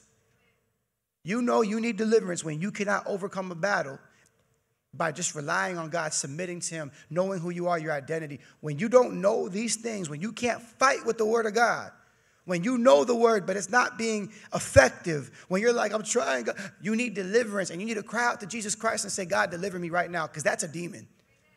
Christians can have demons. You can never be possessed as a Holy Spirit filled Christian. Possessed means where a demon has full control. Everyone say the body, soul, and spirit. Possession is completely different. You ever see those people downtown who are in the streets tweaking out, possessed? They're not even there. You know it. That demon is fully driving their vehicle all the way.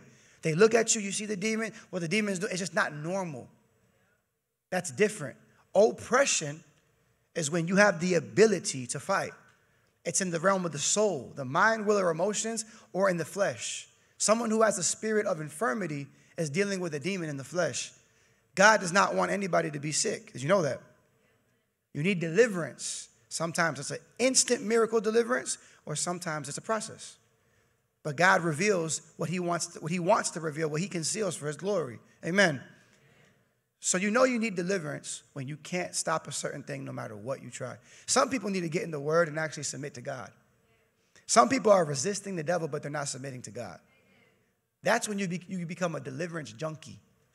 There was a young man of God last night in New York that he kept getting deliverance, right? I prayed for him, or someone prayed for him. One of the prayer warriors prayed for him. He got deliverance, cool. And then I'm praying for somebody, and I hear them over there, so, these random people casting demons out of, out of him. I had to go over there and say, hey, stop laying hands. I, told him, do you even know these people? Be careful who prays for you. And I said, bro, how many times have you been delivered? He said, a lot, by everybody. Everyone casts demons out. I said, bro, I love you, but what you're, what you're operating in is like a deliverance junkie. Your relationship with God is deliverance because you're dealing with rejection and you don't know His love. The minute I began to just, just minister to him, he began to cry, began to weep and hug me. He got healing. Amen. So we don't focus fully on demons, demons, demons. Because when you do that, I can discern that real quick. When, it's, when, it, when the person does not need deliverance, what they need is the word of God. There has to be a balance. Everyone say balance. When, you, when you've operated in the deliverance ministry and you've seen so many deliverances, you know when it's real and when it's fake. I can tell like this. And it's usually the same people who always want deliverance. You ever seen those type of people? They always like, how do you need deliverance all the time? Do you have a relationship with God? I'm serious. God delivers and heals me in the secret place whenever it's needed. I don't, my wife, if I, I you can ask my wife, I rarely ask her to pray for deliverance over me. I ask her to pray for things that I, that I need, that lay hands on me, babe, pray for this, pray for that. But I'm not saying, cast this demon out of me, I need deliverance right now. No, unless God tells me to, but that's rare. I can go seek the Lord alone and God will deliver me in the secret place. Deliverance could be a revelation from the Word of God that changes my mind. Deliverance could be me just crying of God's goodness and He heals me of a wound. Deliverance just means freedom, but casting a demon out if all your if your if your relationship with God is always cast this demon out of me, that's not a relationship. Amen. Amen. It's like that one person who who messes up in a relationship and, and then they come back and the person forgives them and then all they keep re- reminding the person about is hey i'm sorry i'm so sorry i did this i'm so sorry i did this you ever, see, you ever, seen that, that, that situation and the person's like i forgave you you're good i'm so sorry i'm so it's like what type of relationship is that? When are you going to get over that and actually embrace the love of the relationship? Amen. We got to embrace the love of God, not deliverance, deliverance, deliverance. De- deliverance is real. Let me tell you something. Unbelievers need deliverance so they can believe. You know how many unbelievers I went to and I prayed for? They started manifesting a demon, got delivered, and gave their life to Christ. You know how many unbelievers were seeing a public deliverance, and because they saw the power of God, felt the power of God, they came and surrendered at the altar? Deliverance is for believers and unbelievers. That's why Jesus casted out demons publicly. There was Pharisees, believers, unbelievers, all types of people, witches, war, all types of people were watching. Because once you see a supernatural, a supernatural miracle, because that's the working of miracles. Deliverance is in the category of the working of miracles. When you see a miracle like that, how are you going to say that God ain't real? Amen. But as Christians, we get deliverance when we need it, but we don't focus on it. That's why Jesus said, do not rejoice that the demons submit to my name, but that your names are written in the book of life. You're going to go to heaven. What he was saying is don't, don't sit here and party and, and go all crazy because demons are coming out. Be happy and rejoice and be joyful that you're going to heaven. And then he glorified the Father. Look at this self awareness, number four. When Jesus asked the demonized man, What is your name? A demon answered on behalf of itself and the other demons, My name is Legion Everyone say legion. For we are many. Mark 5 9. The demon was aware both of its own identity and that of the other demons occupying this man. Jezebel is a system, Leviathan is a system. Demons come in with a system, an operation. That's why the Bible says when a demon leaves, it gets seven more other wicked spirits. Demons come in packs, systems. And they're well aware of the operation that's operating inside the person. They're well aware. So when someone gets delivered from a Jezebel, they're not just getting delivered from the spirit of Jezebel, they're getting delivered from that entire system. And what demons do Jezebel come does Jezebel come with? We can read in the word and learn about her characteristics. Witchcraft, lust, control, idolatry, right? Murder. These are suicide. Elijah got suicidal, right? Jezebel causes you to doubt your calling. Jezebel tries to silence the voice of the prophet. She wants people to shut up and stop preaching against her. Jezebel wants all the attention. She put on all that makeup and tried to seduce Jehu. She comes with seduction. This is an entire operation. Jezebel wants to lead. You ever see someone come to the, the church or they come to a ministry and within two minutes they think they're, they're supposed to be leading? They're always speaking, super prophetic. Don't want to serve, don't want to clean bathrooms, but they want to lead. That's a Jezebel spirit. She wants the limelight. When she doesn't get the limelight, she gets angry. And Jezebel always needs a Ahab. Whenever you see a Jezebel spirit, there's an Ahab around. Because Jezebel spirits cannot operate without an Ahab.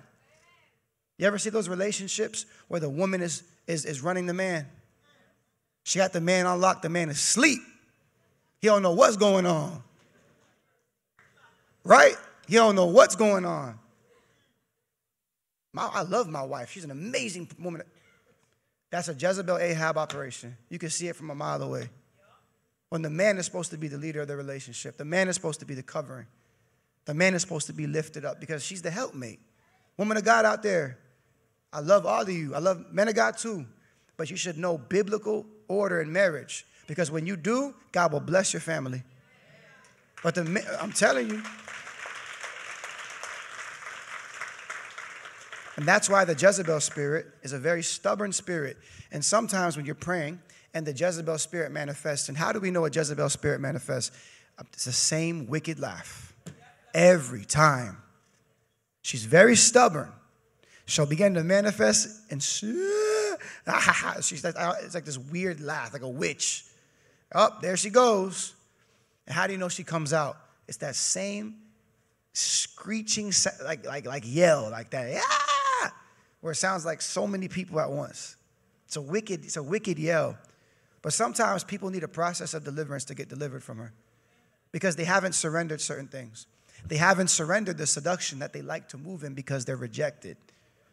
The seduction makes them feel good when, they, when men look at them or women look at them. They want to wear certain clothing on purpose so that men or women can look at them. That's a seducing spirit. You ever see somebody that you just they, they move in such seduction when they look at you, they the way they, they smile, and you feel the pull like, bro, what the heck is that? Right? You're like, yo, what, what the heck? Am I being tempted right now? And that's a seducing spirit. The eyes, a Jezebel spirit, the eyes are real glossy. You ever seen that the eyes are real and very captivating and they pull you in. I know when I see a Jezebel spirit because when I see it, it tries to come at me first with the, and I just look straight at it deep into the soul. And the minute I do that, head down, head down. Before I used to get so like, ugh, babe, you see that? Ugh. But now I'm able to, mm, and look deeper and that spirit will go down. And the person won't understand why they feel what they feel and put their head down. Because that spirit will give them the emotion of stop talking to him, walk away. You see, when demons know that you know that you know that you know, they start running away from you.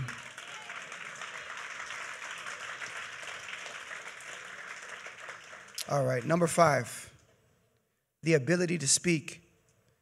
In the first three Gospels and also in Acts, we see several examples of demons able to speak through the vocal organs of the person they are occupying. They could never answer questions and carry on a conversation. Normally, we regard the ability to speak as a distinctive mark of personality. Demons can speak through people. Did y'all know that? Sometimes they'll come to the altar and they I don't want to go. That's not the person. That's the actual spirit that doesn't want to go. I've spoken to people, I've done many different um, interviews after deliverances just to get just to pick their brain. And when someone's really getting delivered, they're like, "Man, I wasn't even there." It was like I was outside of my body watching myself. It was crazy. Who's experienced that? Where you're like, bro, I was outside of my body. What? That like that, that wasn't me speaking. I'm sorry. I'm, I'm like, bro, you're good. I've seen demons start cursing people out, try to run away. I've seen demons with like give the person supernatural strength. One time, we were uh, we were praying for a woman a woman of God for deliverance in her home, and I'll never forget that she manifested the spirit of Jezebel, and and and it was it was Baal also operating. It was so wicked that she was able to pick up three men. Yep, my wife had to literally put her knees on top on her back, like try to hold her. I was holding her legs. Two other men of God were hold, one was holding the leg, the arm. We were literally, and she got up, ah, got up, and we had to cast it, like come out, come out. And when it finally came out, she fell. Blood came out of her mouth. She threw up, all types of stuff, and got freed. She was cutting herself and everything. Baal worship. Had no idea. Demons can give people supernatural strength. I've seen times where the demon will take somebody and like disfigure their, the, their body in a way that it's, not it's just not normal. They start walking all crazy, like like going like you ever seen that in the movies? That stuff is very real. When someone when I've seen it with people who are like are borderline possessed, people that have been, this this is this is the main this, uh, when I see when I meet a Christian who was once on fire for God but has been in the world for like 10, 12 years, they're they're like the most wicked deliverances. When you pray for them, that demon comes up and speaks, doesn't want to let them go. That's why when the Bible says the demon gets seven more wicked spirits and tries to come back and enter, that is very real. God has a grace period. Everyone say grace period.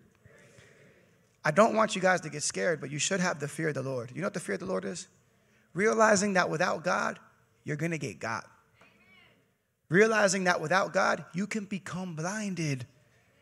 You can go from thinking that Jesus Christ is everything to literally thinking he's not even real. You can go from believing in the gospel to believing in witchcraft. I've seen it. I've seen people who were on fire worshipers go from worshiping the Lord in the anointing, powerful men of God. Go from that to believing that all religions can, can bring you to heaven and leave the church. All because they didn't give up certain things that they needed to sacrifice. God kept telling them, stop watching the porn. Stop watching the porn. They would come up, get deliverance, go back to the porn. When you get delivered from a demon that's causing you to watch porn, you have the ability to stop now. If I was addicted to porn my entire life, when I got delivered in Christ and never went back, if I can do that, why can't you? You have a free will choice. Everyone say free will. In Christ, it's gonna be a fight. It's a fight of faith. There's never a time in Christ where it's super easy and you're just, everything's great and, and, and Candyland. We're not in heaven yet. We're seated in heavenly places in Christ Jesus, but we're still here as foot soldiers on this earth fighting against principalities, powers, rulers of darkness, and spiritual wickedness in high places. And the beautiful thing about it all is that we have authority over everything. We do. That when we pray, things shift. When you know that, when you have faith and you pray, you don't have to pray for 10 hours. You can say, you can pray for 10, 15 minutes and shift everything for the day. God doesn't want us praying 15 hours a day. God does not want us oh, always praying. That's, that could be religious. God wants us to be in the field winning souls. Some people all are called to be prophetic intercessors, and God will tell them to pray longer than most people. But that's their calling. That's different. But God has a plan and a destiny. He has a purpose for everybody. How can we fulfill our destiny if we're always praying in the secret place? Let's take it deeper. You know what's a form of prayer? Always in your mind and heart, staying focused on God anywhere you go. Being able to be in a room with a whole bunch of worldly people and still in the spirit be focused on Jesus and having a full on conversation. That's prayer. Secret place, devoted time with God is beautiful. It's very beautiful. It's intimate, right? Think about a wife and a husband, intimacy alone. But if I go with my wife in public, sometimes we don't have to even say anything to each other and we know exactly what we're thinking about what's going on. Because we're connected, we're one in the flesh. God is more connected with me than I am with my wife, and more connected with her than I am with her, right? He lives inside of me. Everyone say, inside of me. Jesus lives inside of you. Hallelujah.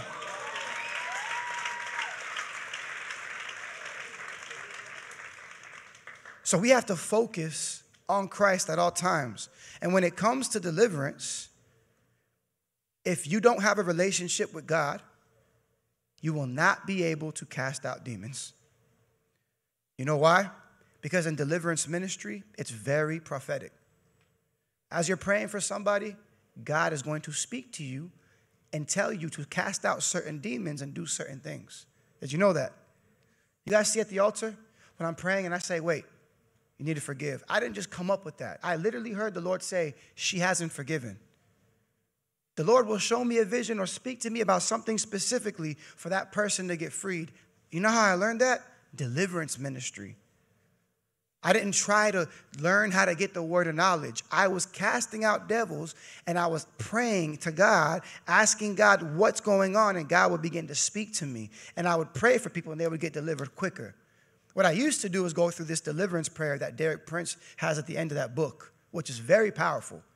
Really good for new beginners in deliverance. It's at the end, you identify all these different spirits, people can renounce it. Powerful. But as you begin to grow in deliverance ministry or just in Christ in general, God will tell you, bam, bam, bam, bam, bam, delivered. Amen.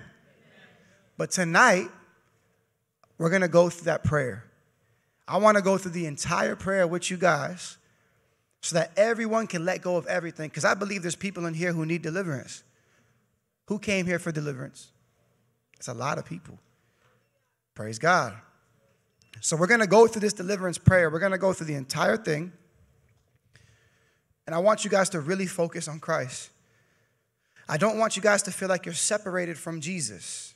Like, like Jesus ain't, ain't with me and I'm, the, I'm just this demonized person who's terrible and, and I need to go to hell. No, I want you guys to, to focus and have the heart and the mind that Jesus Christ literally loves you and wants you to leave here freed. He's tired of those demons blocking your, your destiny. They're annoying to him. If Jesus Christ overcame every demon on the cross, why do you still have demons? If Jesus Christ died for all your sin and disarmed every principality and power, why are you walking oppressed still? One of the main reasons is because you don't want to sacrifice. Last night I said this. Number one, fornication. Many people repented of fornication last night and gave up relationships that they shouldn't have been in. It was powerful and got delivered, set free, filled with the Holy Ghost. Couldn't speak in tongues before, blasting tongues, baptized in water, left there different because they sacrificed and they gave they gave those things up. You know what the cross represents? Sacrifice. If the Bible says we're to take up our cross daily, that means every day we sacrifice. What is sacrifice? Something that we don't want to give up in our flesh that we give up because we love God. A sacrifice could be giving up a relationship that you know you're not supposed to be in. Some people have justified those relationships. I could be in this relationship. God ain't tripping. I'm going to marry her one day, anyways. We only fornicate once every three weeks. We'll be all right. That's already a relationship that's built off the devil. No foundation in Christ. When you sacrifice, separate yourself, let that person know you're committing to God and they should too. God will bless you. And if that person's supposed to be married and all that stuff, it'll happen. But God might save your butt. Because when you're in fornication, you're blinded. Everyone say blinded.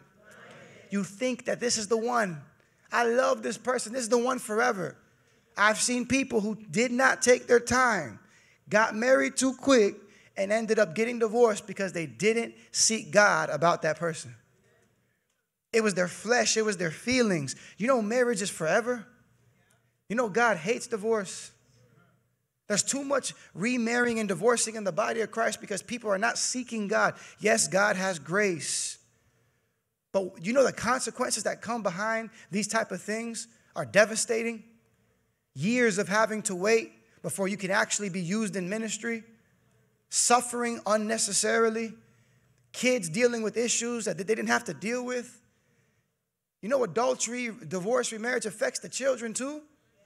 You know, fornication really affects the children. You have children out of wedlock, but you don't want to repent because of your selfishness. Now you're cursing your child. This is real. Y'all want me to keep it real? You want me to be candy sugarcoated? I can keep it real with y'all, but people get mad at me. They get mad. You're religious. That's mean. That's not loving. No, it's the truth. I know this because of deliverance ministry. You know how many devils I cast out when people when people start re- actually repent of fornication? When they break that legal right, everyone say legal right. The only reason that demon has access in your temple, has the ability to be inside of you, is because legal right. I'm gonna talk about number two rejection. Uh, people that are dealing with rejection don't want to admit they got rejection. Oh, he just doesn't understand. I'm all right. Everything's great. Yup, you got rejection. Rejection is one of the biggest killers of people in ministry. Because if you can't overcome rejection and be delivered and healed, you're going to always think everyone's against you. You're going to isolate yourself, always have paranoia, pride. Because you know what covers rejection? Pride. Who remembers that feeling when you were in middle school and you got bullied, or you got your mom or your dad did this to you, or your dad left the home, or your mom left the home, or whatever happened? Who remembers that feeling in elementary, middle, whatever it was? That, that, one, that one time that you got really rejected and hurt by somebody. Bro, it's everybody in here. Remember how bad it felt? You felt like it was the end of the world, and you're just walking, and you're like, oh, it feels like somebody took a knife and just boom in your stomach and then the feeling doesn't go away. It starts to get stronger and stronger. You know what I'm talking about, right? And you're sitting there trying to hold this. Literally, you're trying to hold that. You're trying to tense up and hold your breath because of how powerful it is. That's the spirit of rejection. And if you don't get delivered and healed from that, that thing will dwell in you and manifest whenever something is supposed to actually be divine from God. That spirit will break up true relationships that you're supposed to keep because of ignorance, because of pride. People don't want to feel that feeling, so they get prideful. Pride comes and covers it and speaks in your ear. And then you begin to say, nah, I'm right, they're wrong. The minute you have that mentality flowing through you, God can't use somebody like that. Those are the people 30, 40 years in the church never used. Super prophetic, super anointed, got a lot of faith, and then you wonder why. What's up with you? Because they won't overcome the spirit of rejection Rejection is a process. You get delivered from the demon, then you need to get healing. You know how God heals you with rejection? takes you back to those times. How do I know this? Because I went through it. Everything I'm telling you all right now with the fornication, I had to sacrifice. With the rejection, I had to realize I was wrong. All these things I'm telling you, I had to go through. That's why I can preach it. Amen. I will never sit here and preach something to you that I have no experience with. When I got when I came to Christ, I had to look at my wife, who, who she, she was my girl, who's pregnant with my seven-month-old child, and say, "We are not together. We're not sleeping in the same room, and I'm going to start looking for apartments and leave." You know how much that hurt me to know that my firstborn child, that my firstborn child probably will be raised without, without having that mother and father bond, that, that, that another man might come and marry her, and my child have to be raised by him. And I had to wait and I had to seek God and say, God, what do you want me to do? I had to seek God and I waited. Even after she got saved, I waited. I waited and I waited until God gave me the green light. So if I sacrificed, you got to sacrifice too. Some of you are not, you don't even have a kid on the way. You're just you're with a girlfriend or boyfriend because you like them. Do you really want to risk your future, your destiny, your actual wife and husband that God has planned for you, all because you like the feeling of being loved when it ain't even love, it's lust. You, I'm being real. And people can get up and leave. I still love you. It's honestly spiritual. Because you want love from another person except being except going straight to God and and being satisfied by his love. You know the love of God is more satisfying than any man or woman can give you.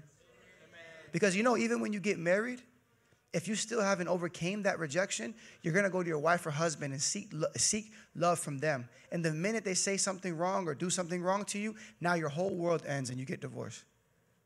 That's how people get divorced. Because how dare they? Now they're the enemy. I thought that that was the person you love. That was the one you said was supposed to be to the end. That's because it's a spirit operating. We got to get freed before we try to do anything that we think is right. Them demons can manifest inside of you. And when they manifest, it's through a feeling. Everyone say feeling. You know it's in the soul when it's an emotion. When it's something like, like you're just like, something so simple can be said to you, but it affects you so much. Everyone's been through that, right? Something so simple that you know is not even that serious, but it affects you so much. You get angry, you get depressed, you get rejected, you get lustful, whatever it is. You're like, what is wrong with me? Some of you need deliverance from that spirit of lust. You've been you, you walk in the gym and all of a sudden you get lustful and, and, and you have to leave and you wonder what's wrong with me. There's a spirit operating inside of you. Bro, we got to get delivered so we can go deliver others. Amen. Do you want to be the blind leading the blind or do you want to be led by the spirit and help others be led by the spirit? So tonight, people are going to get delivered from demons. People are going to get healed. I feel like the silence, and not, not because it's actually silence, but like the spiritual silence in the room of people like, yo, I need deliverance. Who right now is like, man, I need deliverance? Raise your hand. Oh, man, it's about to be real tonight. Hallelujah. God is good.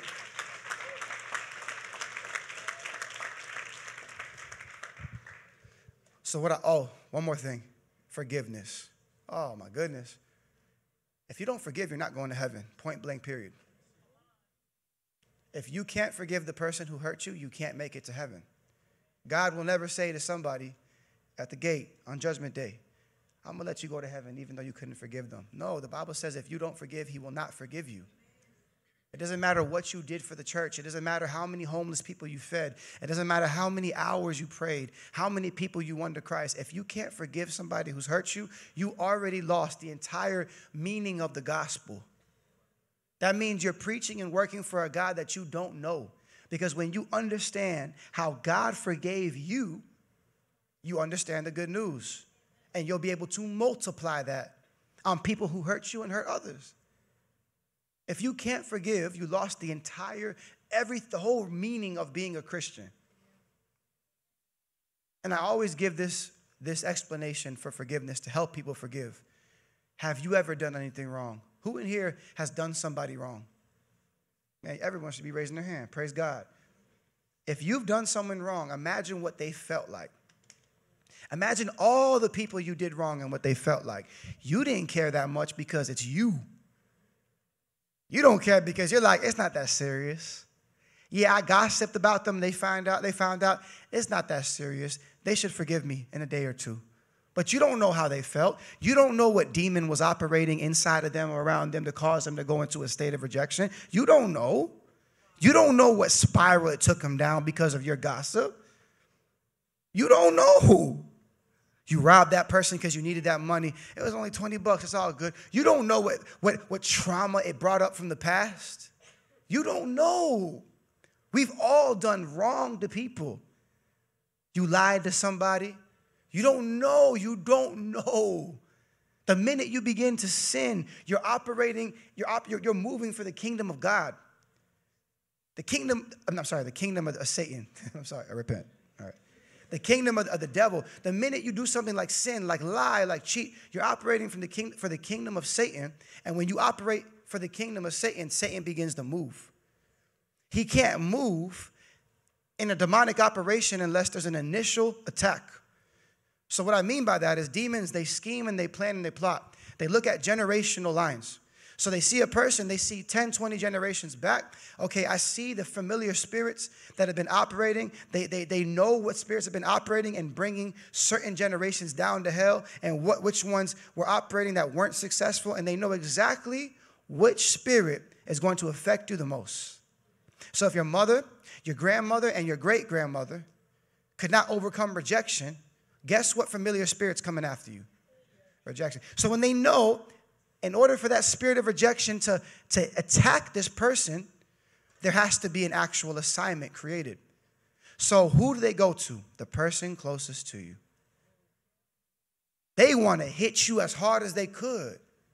And if you have not been delivered and healed and you don't know Jesus, you are a walking target. Wait, they're now contemplating going to church? Now we got to hit them.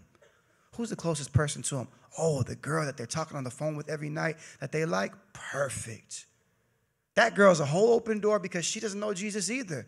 Now that girl goes and cheats on the guy, he finds out that spirit of rejection rocks you. Now you're suicidal. Now you're down a whole spiral for three years. Got to come to the church house, and the man or woman of God to tell you you were in fornication anyways. That person didn't love you. They lusted. You were lusting. Repent. When the entire time all you had to do was repent, get delivered, and healed. You see how the devil works? These demons are moving in the spirit realm with strategy. They're planning every day something new to attack you with. And what's so beautiful about it all is that there's nothing that they can do without getting permission from God. So God allows it. Woo! He allows it. Pray, everyone say, praise God. Because what that does is it brings you to Him. It breaks you.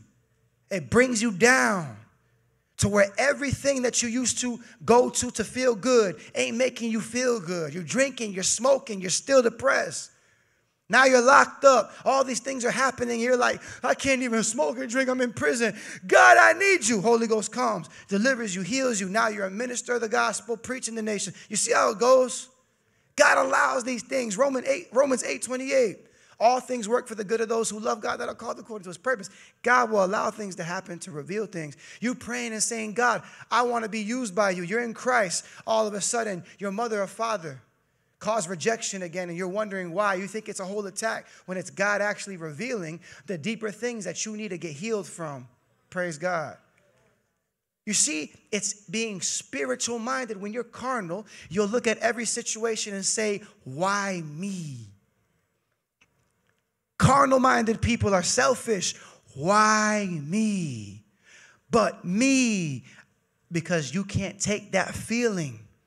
You're taking the feeling and trying to justify it with pride instead of saying, I shouldn't be feeling like this.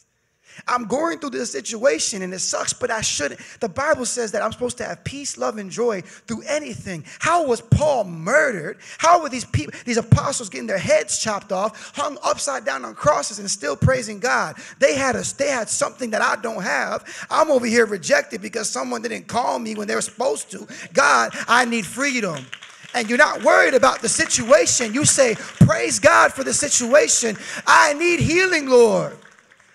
That's a spiritual minded person, and that is a vessel God can use. Simple Christianity. But when everything is defense, how's God gonna send you to New York City, to China? You know how many times we got tested out there in New York? I can sit there and tell you, but I don't need to. I'm not to glorify the devil. But we overcame it with love and joy and peace. Hey, hey, we're going to move in the spirit of God. You ain't going, no, we're going we're going to make this thing happen. Hallelujah, Jesus. Amen. So tonight, people need to get delivered and healed. Some of you already know what spirit you need deliverance from. You right now, like, I see, you, you already know. Pray, that's good. That's the whole point of this message is to convict you. So if you want to cast out devils, you need to be delivered first. Because casting out demons while still having demons, and I can say that because that was me, is very backwards. because that thing will bring you through a lot of um, deliverance. Let's put it that way. You don't got to go that route. Wisdom. Everyone say wisdom. wisdom. Wisdom is being able to have the strategy on how to act, what to do knowledge, wisdom, and understanding. Three things that we should always be praying for. When God gives you the knowledge about a situation, you need understanding so that you have the mind and the heart of Him to understand why everything's going on. So let's say, for instance, the knowledge of your child smoking weed when you never thought they smoked weed. You find out that's knowledge. Now you need spiritual understanding. Okay, they're probably smoking because they feel rejected, right?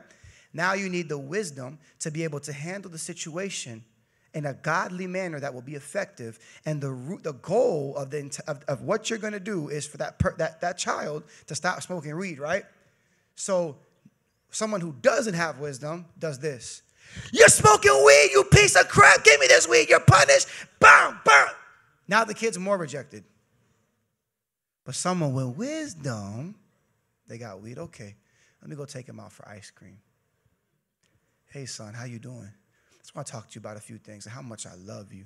Now the kid's at the ice cream parlor with chocolate, with chocolate ice cream all over his face, crying. Because you had wisdom and listened to the Holy Ghost. Now you can cast that demon out of your child. You see what I'm saying? Religion don't got wisdom. Whole bunch of knowledge with no love. Knowledge puffs up, but love does what?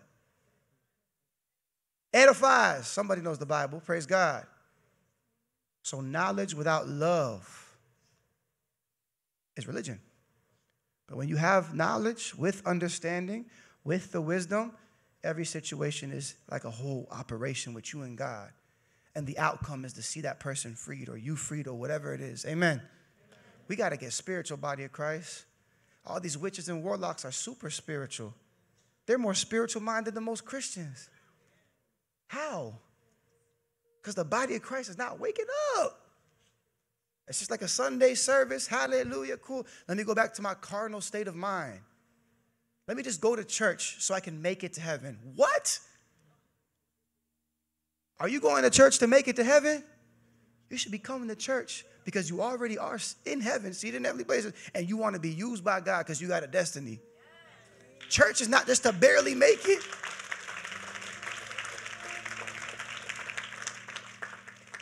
So, what I want to do is I want to walk all of you through this deliverance prayer from Derek Prince. Who, who's ready for that?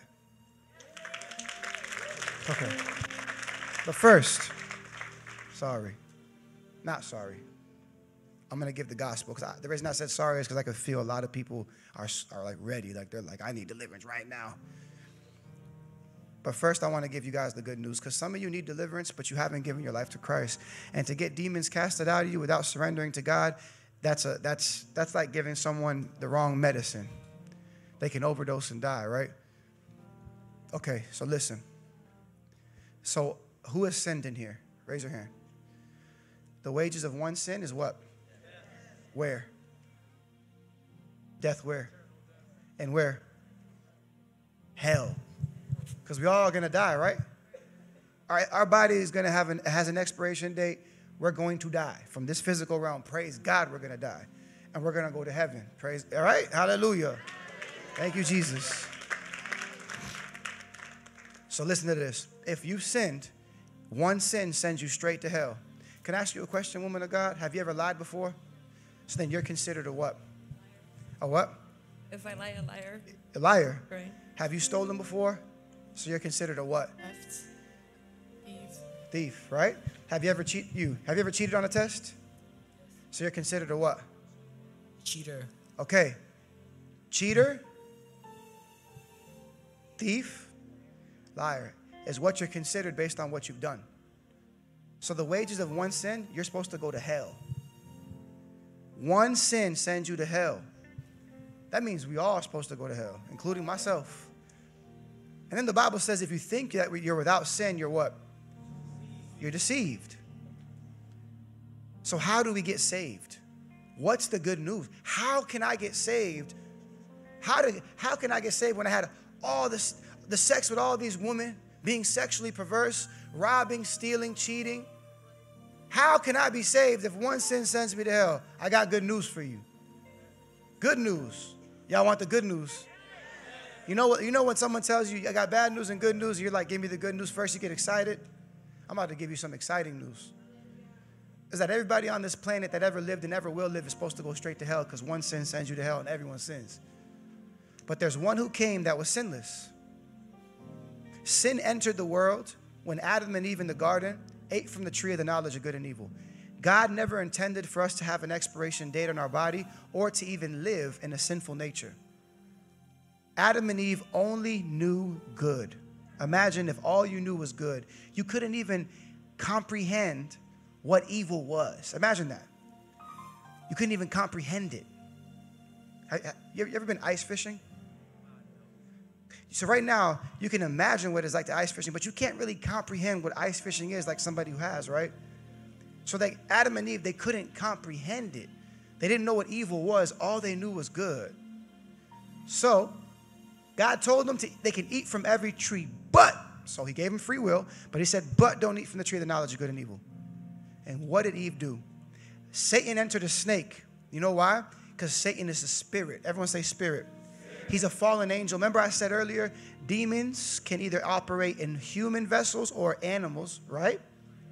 So Satan had to, uh, to enter a physical vessel to speak to Eve, who is also in a physical vessel.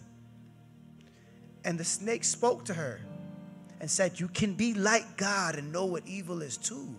You can know good and evil just like God. And Eve, because she came from the rib of Adam, because she was Adam's helpmate, because she didn't have access to a certain part of the garden that Adam have, had, she right there had envy and was, man, I can be like God who's even higher than Adam. Where that tree at? And she ate. When she realized what she did, she brought down her, her, her, her- her person supposed to be helping. She brought down her covering. Hey, you can eat from it too. And they ate. And then what happened? Eyes opened. And now they understood what evil was. And they realized that they did evil and they sinned. That's when death entered the world, the spirit of death. Now, Adam and Eve, expiration date on their body, they're going to die. They realized they were naked, got the leaves of fig trees, right? Covered themselves. That's when death entered, sin entered, and relationship with God was lost. Before they had relationship with God and they walked with him in the cool of the day, right? Adam, right? That means they had a body, but their body was satisfied by complete relationship with the Holy Spirit. They had no desires for fleshly things. They didn't desire to be angry, curse, cheat, fornicate, or lust, or whatever it is. You know, God told them to be fruitful and multiply before they fell. I'm going to say it again. God told them to be fruitful and multiply before they fell. So God actually had a plan of multiplication on earth without evil. But they ate. Now generations went by. Adam and Eve died. Their children died. Their children died. And the prophets throughout this entire time period, the prophets from Israel, the ones that God would call, where the Holy Spirit would come upon them for ministry, would speak and prophesy about the future and what the Messiah, the Christ, would do, what he would do, what he would do, how he would be, be put on a tree. A book of Isaiah talks about it, Ezekiel, different books in the Old Testament, specific messianic prophecies, prophecies, foretold events in the future about the Messiah. And they kept waiting.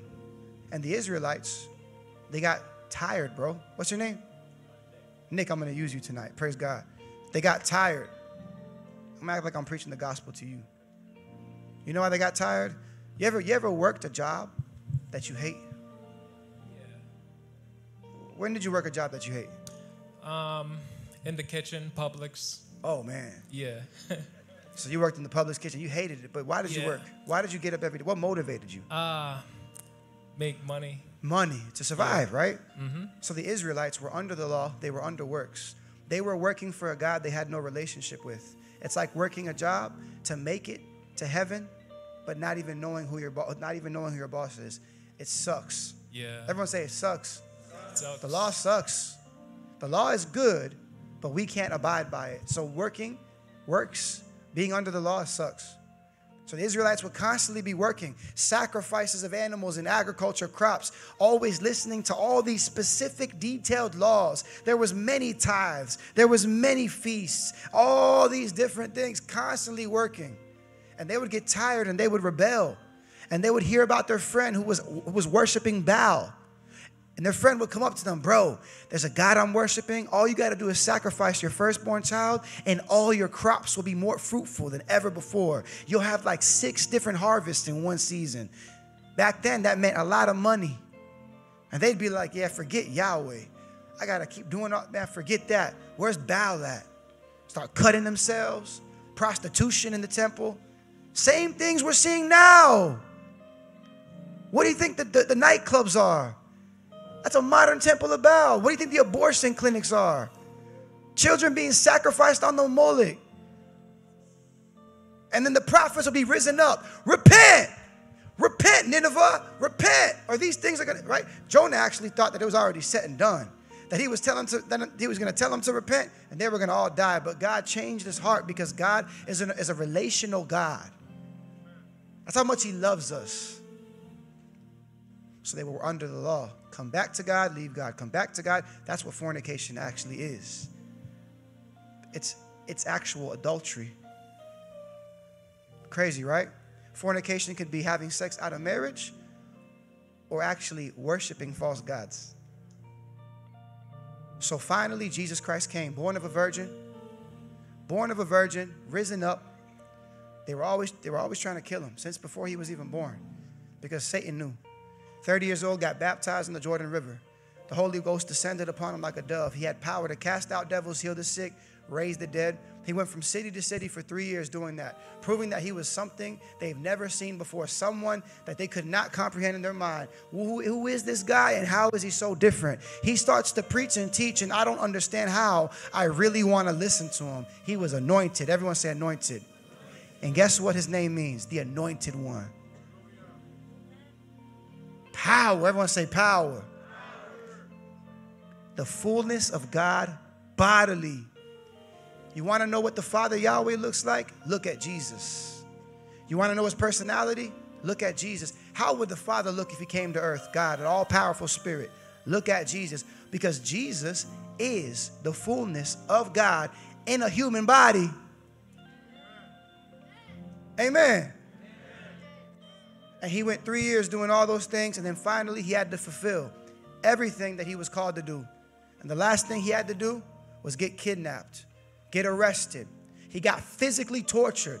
The Bible says he was molded and was unrecognizable. Do you know what that means? Unrecognizable. You see me right now, you recognize who I am. Imagine I came back and you couldn't even recognize who I was because my flesh was hanging off my body.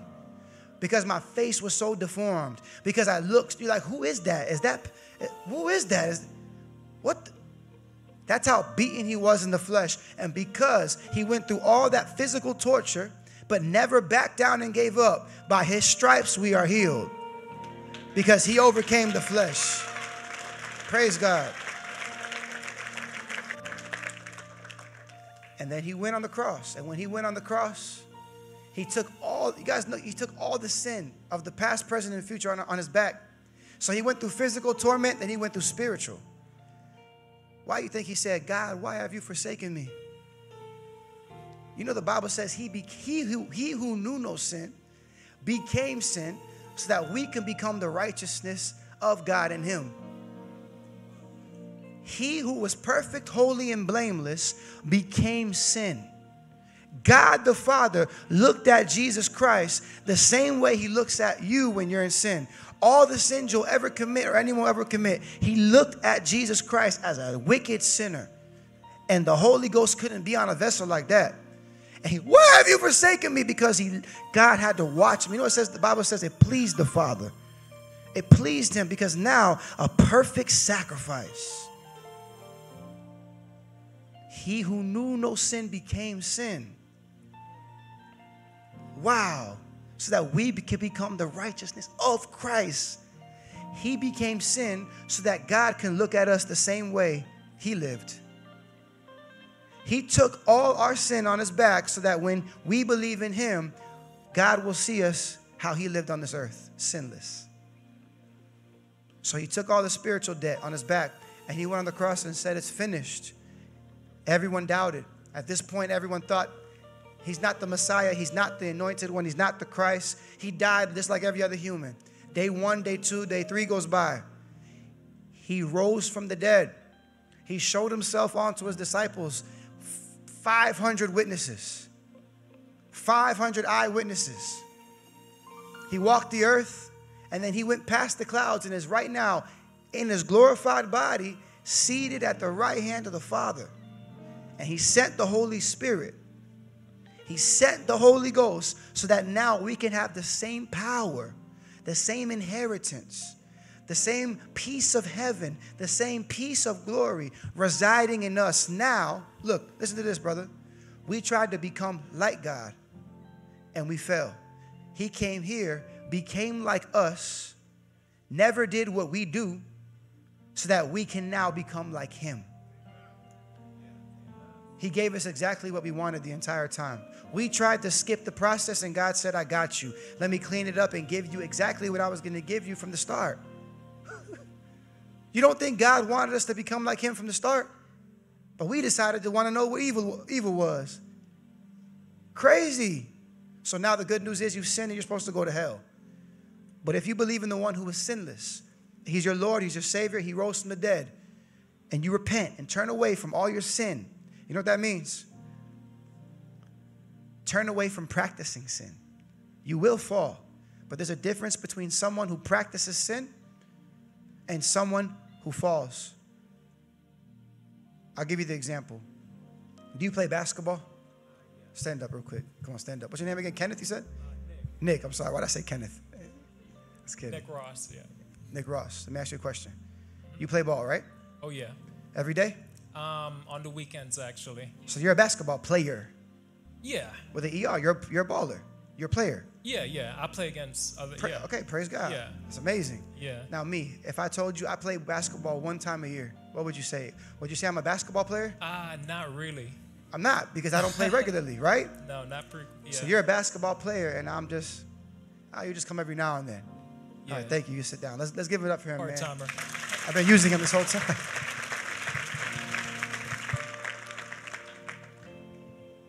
so if someone who plays basketball regularly, regularly is a player, that means that someone who sins regularly is a what?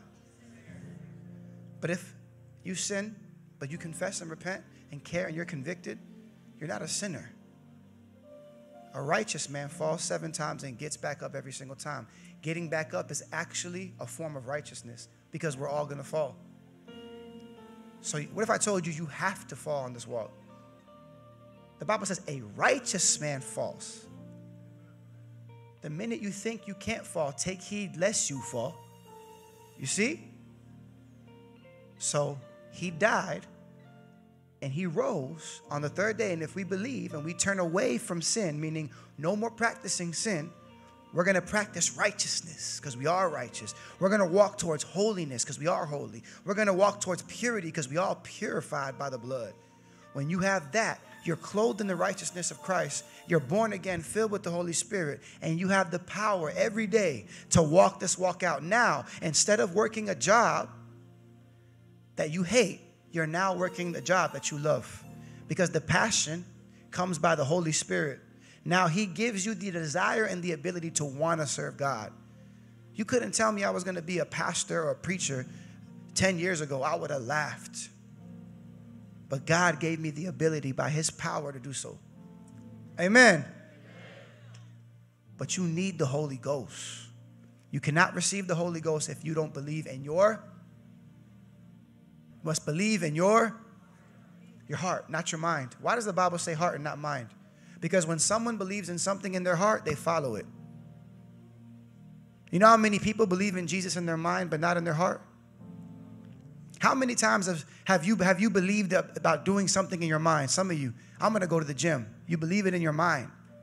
At that moment, you've accepted, I'm gonna go to the gym, but then you don't go. Because you never believed in your heart. When you believe in your heart, no matter you ever get that feeling when it connects from your heart, your mind to your heart, and you like, I'm going. There's nothing that's gonna stop me. I'm going to the gym. Right? Because you got to believe in your heart and confess from your mouth. Out of the abundance of the heart, the mouth speaks. There's a lot of people who believe in Jesus in their mind and they're not born again. And then they wonder, why do I keep going back to this iniquity? Why don't I care about and love Jesus like these crazy people do? I don't get it. And then you go back to the world and you think Jesus ain't real. It ain't that Jesus ain't real, it's that you're not being real. You got to let him in your heart. Everyone say heart. So tonight, I believe people are going to give Jesus Christ their heart tonight. And he's going to fill you with the most overwhelming love and joy and peace. It's the best feeling in the world because nothing on this world can give you what God can give you. It's all temporary things that we can't even take with us to heaven. or hell. We can't take none of this with us to the eternal realm. This is all temporary. Anything that you accomplish on this earth means nothing. It's all filthy rags to God. You know what pleases our Father? Faith, walking on the narrow path, following Him. You cannot please the Father without faith. So when you go do works for God, He's not pleased because of your works, He's pleased because of your faith to do those works. The heart behind it. Amen. So, what I want to do right now is do what I always do. Let's all close our eyes real quick. The reason I say close your eyes is so that you can focus and not worried about worry about the person next to you. So I pray, Holy Spirit, that you would touch everyone right now. Some of you might have gone back to the world. You once gave your life to Christ in your heart, and you went back to the world, and you've been living a lukewarm lifestyle. And you know you need to come back because you have not been feeling convicted, you have not been caring, and you know you need to come back like the prodigal son or daughter. And I promise you, God is God wants you to come back more than you do. Some of you were raised in religion and never had a relationship with Jesus. You thought your relationship with Jesus was believing in your mind that He's God, but never having to, to actually follow Him. Some of you have never given your life to Christ and you came here to experience Jesus because you saw videos online or heard, heard someone talk to you about it. Praise God. What I want to do right now is pray. Holy Spirit, touch everyone right now in their hearts and in their minds. Let them know right now if they need to surrender. Everyone, keep your eyes closed in Jesus' name. Raise your hand if you need to give your life to Christ. And raise it high, high, high, high, high, high. Raise it high. Raise it high. Some of you are not raising your hand because you think that you can't do it, but let me tell you, you cannot. In Christ, He gives you the power to be able to do it. You can't do it in your own strength, you need Christ. It's a partnership. So raise your hand high. There we go. Raise it high. There we go. So on the count of three, I want everyone to come to the altar that's raising their hand. And Jesus, Jesus is going to meet you here. One, two, three. Come to the front. Let's give it up for Jesus. Come on.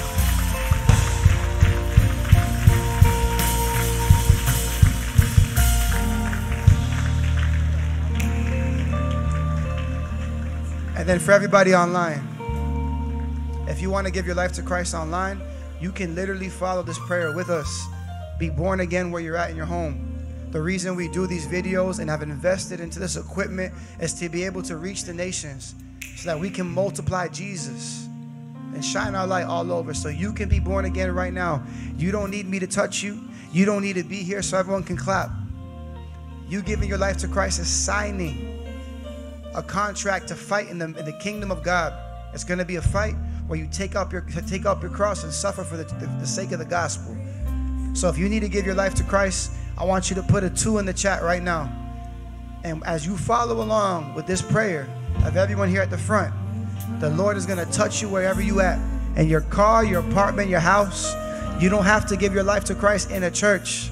The building is beautiful because of air AC. Last night in the streets of New York City, people were born again and filled with the Holy Ghost in a place where there's a whole bunch of demonic activity. God can meet you anywhere you're at. Put a two in the chat if you need to give your life to Christ. There's people on here who have been living a lukewarm lifestyle. These videos have convicted you and made you want to seek God more. Praise God for that. Tonight's the night where you give your life to Christ where you're at right now. And the Holy Ghost is an all present. He's he's omnipresent everywhere at once. Spirit. So that means where you're at, the same Holy Ghost is here in this building. He's everywhere. He's all knowing and all powerful, and He can touch you. You can be delivered, healed, baptized in the Holy Spirit where you're at. So make sure you put a two in the chat. And I believe they're going to put a link that you can fill out if you've given your life to Christ so we can count up the souls just like they did in the Bible because we want to we want to boast in Christ about what he's doing in this end times revival. Hallelujah. Let's all give it up for Jesus. Come on, let's give it up for Jesus. Hallelujah. Hey, how old are you? 11. 11. And you want to give your life to Jesus? Yeah. God. Came with her? Mom? Amen. What about you? Um, how old are you? 12. 12? And you? 19? Family? Yeah. Praise God. This is, this is beautiful. Y'all are surrendering to Jesus at the same time. God is going to take your family and heal and deliver. And it's not just you guys. Many other brothers, cousins, family members, aunts, uncles are going to get saved because God is rising up leaders in this last hour who are going to stand strong. Entire families and generations are going to be clean. And you being 11 is beautiful. You know, Jeremiah the prophet got called at a young age too. He was 15 when he got called. Being 11 doesn't mean anything. You're actually, you understand what sin is. So you're held accountable. So it's beautiful that you're going to be born again today. God's going to mark you, bro. And He's going to use you even at 11. You want to be used by God? Praise God, man. Amen. Hallelujah. All right, so this is what we're going to do. One, one, one question. Is anybody here at the front or in the building repenting of fornication? Amen. Can I, can I be real? You know how much God hates fornication? God hates fornication so much that he anointed a military general to go cast Jezebel off of that, that castle and feed her to the dogs. God hates fornication and idolatry. I just want to give it to you guys as a loving warning. Please flee from fornication. That means run really fast. You don't want to deal with those issues. Amen. I just say that in love, being obedient to the Spirit. There's people in here who think they can give their life to Christ and still be in fornication. The Holy Spirit will be grieved. You don't want to do that. Amen. All right. So, everyone at the front and even online, I want you all to close your eyes, put your hands down, relax. You don't have to cross your hands, you don't have to be nervous. This is the best day of your life. This is the day that you're born again and that you're, you're going to be seated in heaven with Jesus. That if you die, tomorrow you're going straight to heaven. I want all of you to say this say, Jesus, you are my Lord. I believe it. You're my master. I'm going to follow you, seek you daily. You're my Savior. You died on the cross and you beat the devil, you beat the world, you beat the flesh. And the blood you shed wipes all my sins away right now. I confess all my sin to you. I let go.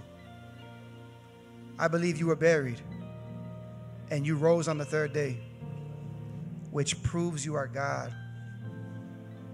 Jesus, you are God.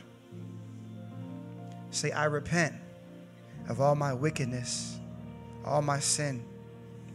I'm done being a sinner. Today I'm a saint.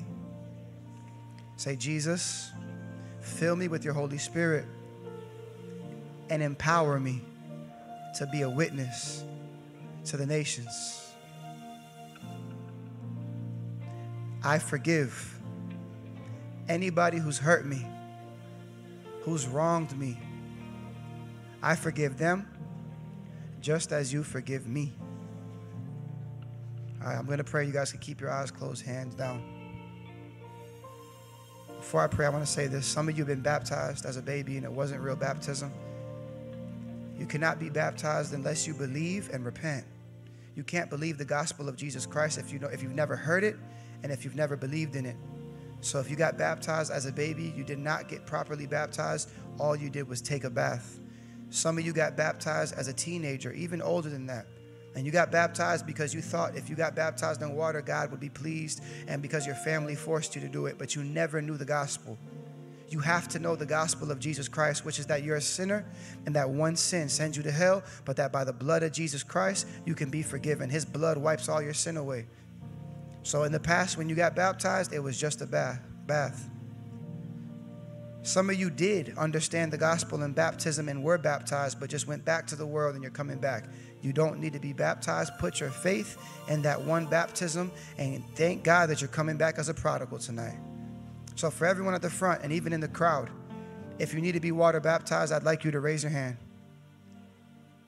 And what I'd like you to do right now is I'd like you to actually go over there towards the baptism tub and go get baptized. Let's praise Jesus. Come on. Hallelujah.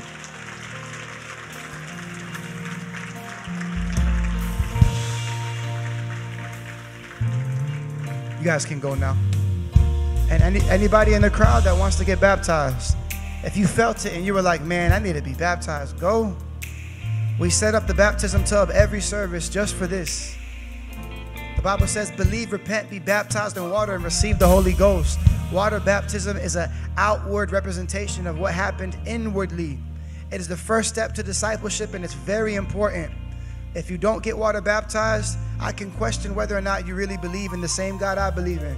Because if Jesus Christ got baptized to fulfill our righteousness, we need to get baptized too. Hallelujah. So if you need to be water baptized, because there's more in here. And some of you are like, I don't want to get wet. Who cares? Stand up, go get baptized. Come on. If you need to get baptized, if you need to get baptized, there we go.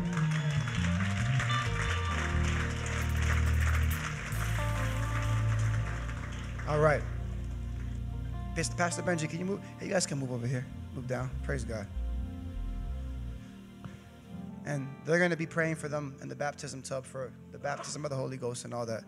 So, what I want to do right now is um, anyone who does not speak in tongues, come to the front. I highly recommend you get up now. Um, you need the gift of tongues. Stand up.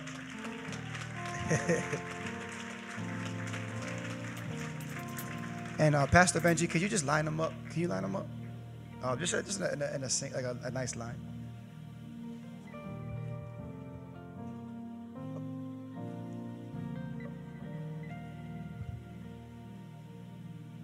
Hallelujah, man. This is beautiful. Okay, so what I'm gonna do is I'm gonna explain tongues really quick. I did it last night in New York City where there's a lot of religion. People literally repented from religion, got delivered, and baptized in the Holy Spirit. It was beautiful. So I'm going to explain it now here too. The Bible says that tongues are an unintelligible language. In the book of Corinthians, Paul says it's an unintelligible language, which means in your mind, you cannot understand it. I'm going to give you guys an example. If right now you went to China, would you be able to understand Mandarin? Because it's unintelligible to you. You don't understand it. What is what is language? Language is sound. It's a frequency, it's a pitch coming out of you, and it's a pattern that people become accustomed to in their brain that allows them to understand things. Amen. So tongues are an unintelligible language that only God knows. Paul says it. 1 Corinthians chapter 14 verses 1 through 5. Amen. So it sounds like a babble. Just like a baby who does not know English in the first few years of being of, of being born, they speak with a babble. Because they don't know how to speak, they don't understand the pattern of English yet. So when you speak in tongues, it's the Holy Spirit speaking through you. The Holy Spirit prays through you things that you cannot understand or even know.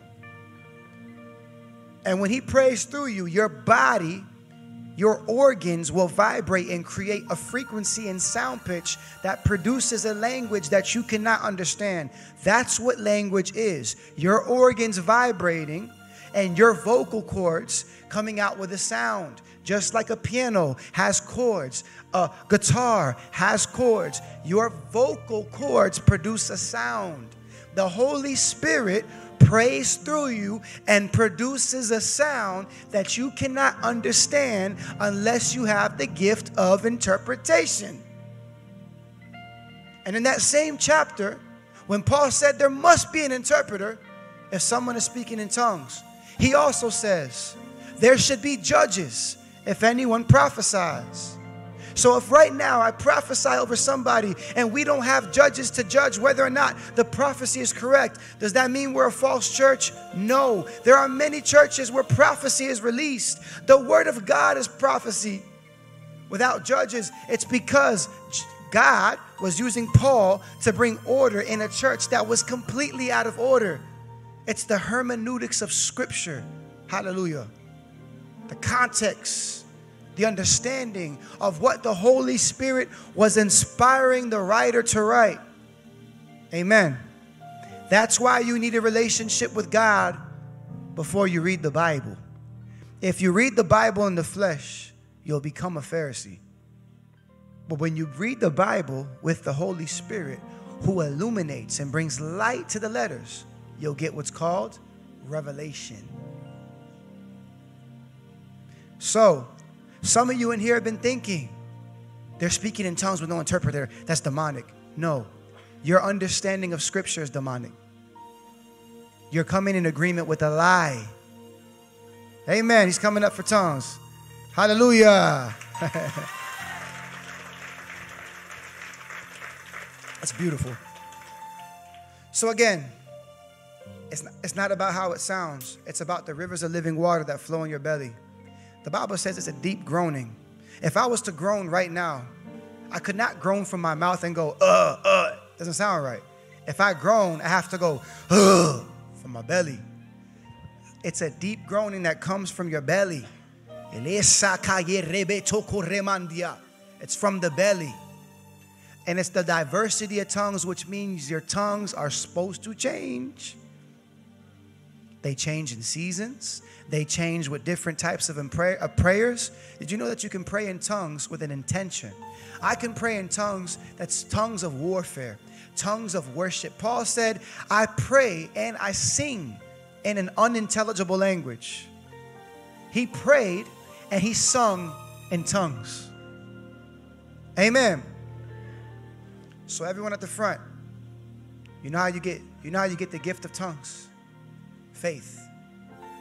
Because you're saved by what? Grace through faith. You cast out a demon with you heal the sick with faith. Do I ever does the Holy Spirit possess me and make me go lay hands on someone to get healed? No, I have to say I'm going to do it. And then the Holy Spirit partners with me and his power allows it. But the access of God's power to that vessel is only by me, a conduit of the Holy Spirit and my faith. My faith is the mediator between that healing and, the, and God. Isn't that beautiful? Just like with deliverance, and just like right now with speaking in tongues. So, just like right now, if I said, go right now and lay hands on that person to get healed, you probably would be nervous, but you would go and you would do it, and they would get healed. And you would realize that it wasn't you, it was God, but you also had to partner with Him and actually do it in faith. Amen. It's the same thing with tongues. Nothing possesses you and makes you speak in tongues. If God is a God of self control, Yesterday in New York, you know what happened? We're praising and worshiping God all together in one accord. One accord means one soul. And some guy, God bless him if he's watching, started saying, Jehovah, Joshua, Yahweh, like in between. And I'm like, bro, he's that's out of order. The spirit of prophecy is subject to the prophet. He has control over his tongue. Fred, go talk to him. And Fred talked to him and he left. He has control over his tongue. It's the same thing with tongues right now. You have control over it. And you can speak in tongues whenever you want once you get that gift. When what if I told you the gift is already inside you when you receive Christ? It's only released through faith. You have the same Holy Spirit as me. Amen. Are y'all ready for this? So, what you're going to do after we pray is in faith, you're going to open up your mouth and begin to pray. And as you move in faith, the Holy Spirit will take over and rivers of living water will flow through your belly. Some of you at the front right now actually believe this message I'm preaching in your heart and even online. Some of you still doubt. Regardless, the message was preached and God will do it in His timing. Hallelujah. So, are y'all ready at the front? I want everyone to put your hands down. Don't cross them. Close your eyes. Just relax. I'm not going to even touch anybody. The Holy Spirit is going to have His way. Nobody needs to touch you. No catchers are needed either. Nobody needs to catch, nobody needs to touch. Very simple. Rob, if you can get out the middle. Let him, let him, the Holy Spirit is here. So I want all of you that are about to pray in the Holy Ghost and even online, online to say this. Say, Jesus. Say, Jesus. I'm ready. Say, baptize me in your power. I'm ready to speak in tongues. It's a gift you've given me, a promise, my inheritance. Right now, I'm going to open up my mouth and pray in the Spirit of God. In Jesus' name, And right now, I repent. I turn away of any sin that I've been practicing. I want you all to take a moment right now, and I feel led by the Spirit to say this. Take a moment right now out of your mouth and say what you're turning away from. Some of you in the front right now have not been baptized in the Holy Spirit because you are not walking in faith.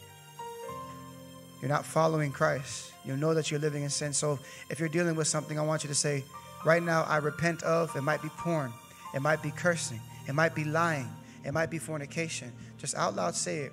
I'm not worried about what it is. I'm saying, I want you to say it out loud because there's life and death in the tongue. Break that curse. Because right now, as you release it, you're saying that I this is not me no more, and I'm forgiven right now.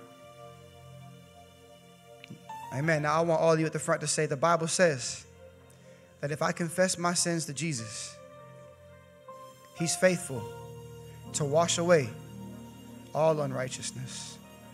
So right now, Holy Ghost, I'm ready to move in faith. In Jesus' name. All right, keep your eyes closed, hands down. I'm going to pray. I pray right now, Jesus. I ask you, Lord, that you would baptize your children right now in your fire, your power. Right now, baptize them in your power. In Jesus' name. Now I'm going to begin to pray in tongues. If everyone that prays in tongues in the crowd could stand up, we're going to pray together in order, in decency and order. The Bible says make sure everything is done in decency and order, but never to forbid to speak in the tongues. So when I begin to pray, all the saints that are baptized in the Spirit of God are going to pray. And we're going to pray orderly in tongues. And I believe many people in these lines are going to begin to speak in tongues. And I want you guys to let it go with faith, which means you're not going to whisper. You're going to pray. You're going to pray. You're going to pray with passion. In Jesus' name. Remandi alabasore. Rebaki alabato remantia. Rebekete kerekete kete. Rebakasore. There you go. Rebaka sa remantatatake. Sekete kerekese. Remandi alabaka. Robokesi alabako. Rebakata karaka sokoro. Roboko sokoro. Hetekia roboko sherebekia rabababa.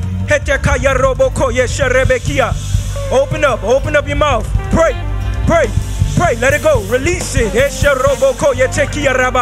There it is right now. Right now.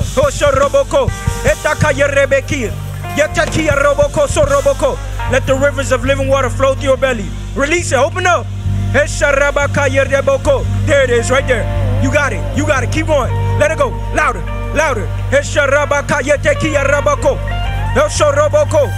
Open up your mouth. Open up your mouth. Hesharabaka. Come on. Open. Hesharoboko. Hetaka yerebeka. Hetaka yoroboko. Hesharabaka. You right there. It's right there in your belly right now. Rivers of living water. Release. Let it go. There it is. Open up. Hesharabaka. Yetekia roboko. Hesharabababa. Yoroboko sorabaka yerebekia. Yesherebekia roboko. Hataka yerebababa. Usherereboko sorebekia rabababa.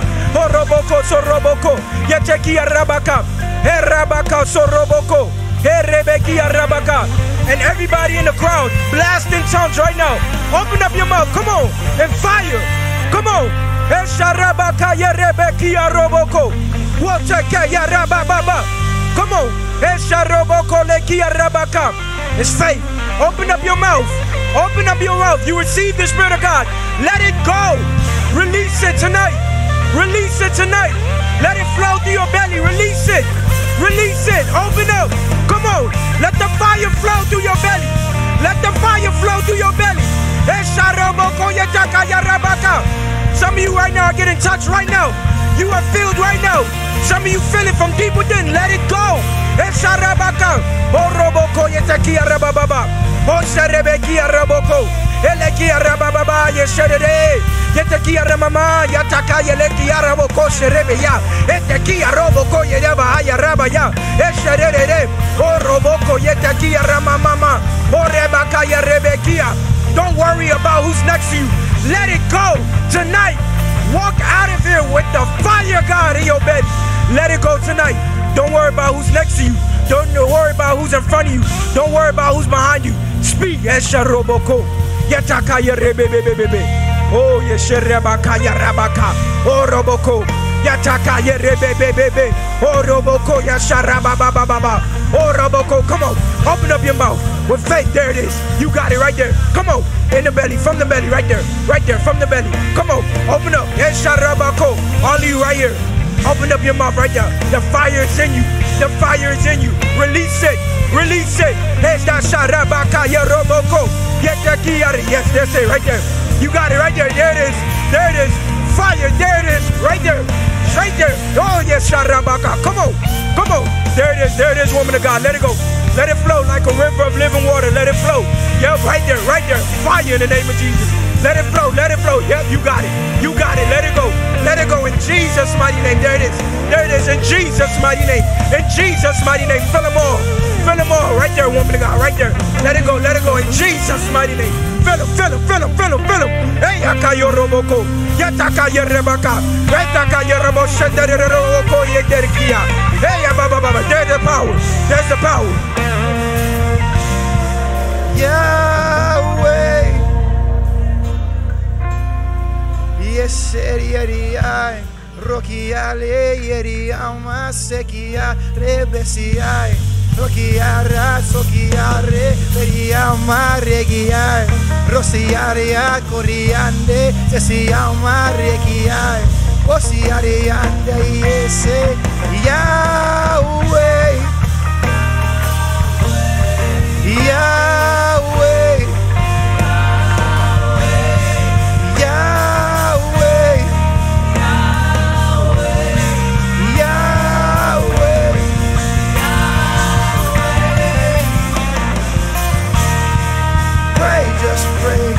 Open up your mouth and pray. Pray, just pray. Open up your mouth and pray. Just pray, just pray. Open up your mouth and pray. Just pray, just pray. Yahweh,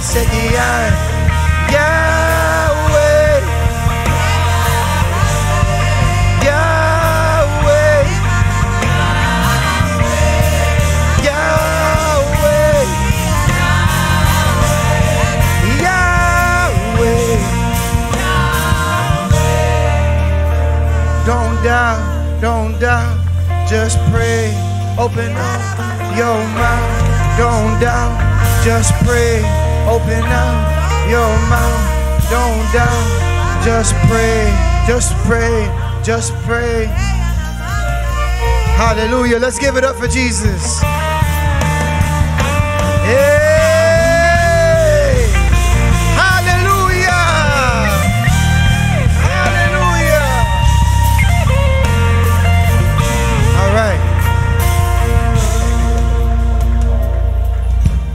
He can't stop. He wasn't going to come up, and now he can't stop. Jesus, man. God is good.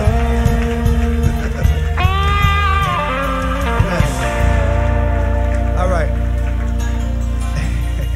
Everyone may be seated. We're going to have a mass deliverance now. Well, I'm sorry. Everyone go back to their seats. I mean, we're going to pray for mass deliverance now and mass healing.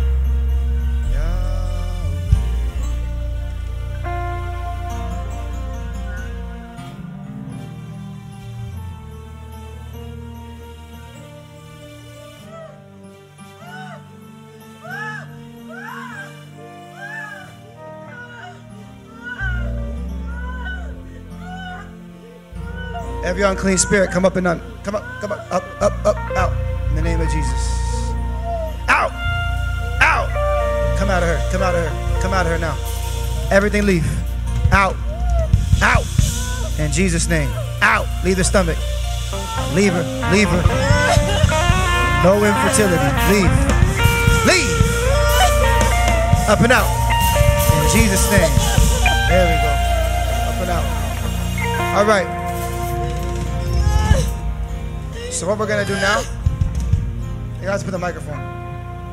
As we're gonna go through the um, deliverance, the mass deliverance. Y'all ready? All right. So if you need deliverance, please stand up. Hallelujah. All right. So We're going to start off with confession. And the importance of confession is to break legal right. As you guys confess the things that you know you're dealing with, and even things you don't know, you break legal right in the spirit realm. And the enemy cannot say that I belong in this body. We give him an eviction note, a notice when we can when we confess. When we partner with Satan and we partake in sin as a sinner, which is a practicer of sin, the devil has the legal right to be inside of us. But when we say that we're done and we confess the blood of Jesus washes away every accusation of the enemy, the accuser of all brethren, and these demons have to go back to the abyss. Hallelujah. So, I want to go through confession. I want everyone to repeat after me say, Jesus, I confess all sins that I'm aware of and not aware of. And thank you for forgiving me. I want you out loud to release the sin you need to confess of. Let it go, release it. It could be un- it could be rejection, it could be unforgiveness, it could be lust, it could be anger, it could be you, you know what sin that you're practicing that you need to stop. Let it go.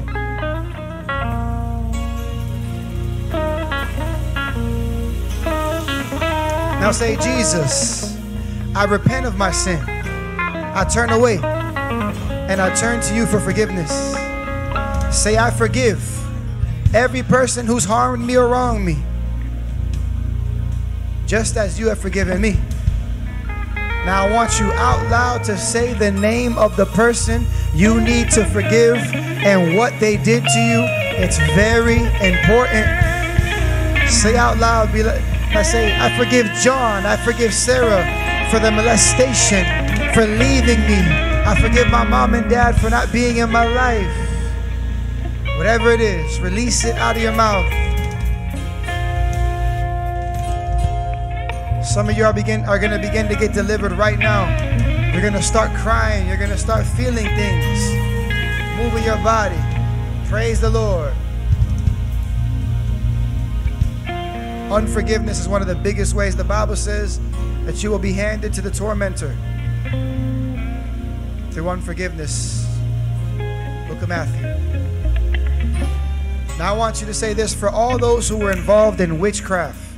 If you were involved in the occult, if you've ever burned sage, went to a tarot card reader, went to a energy healer,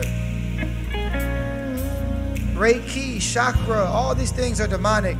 Even if you did yoga, if you practiced yoga, that's that's a satanic practice.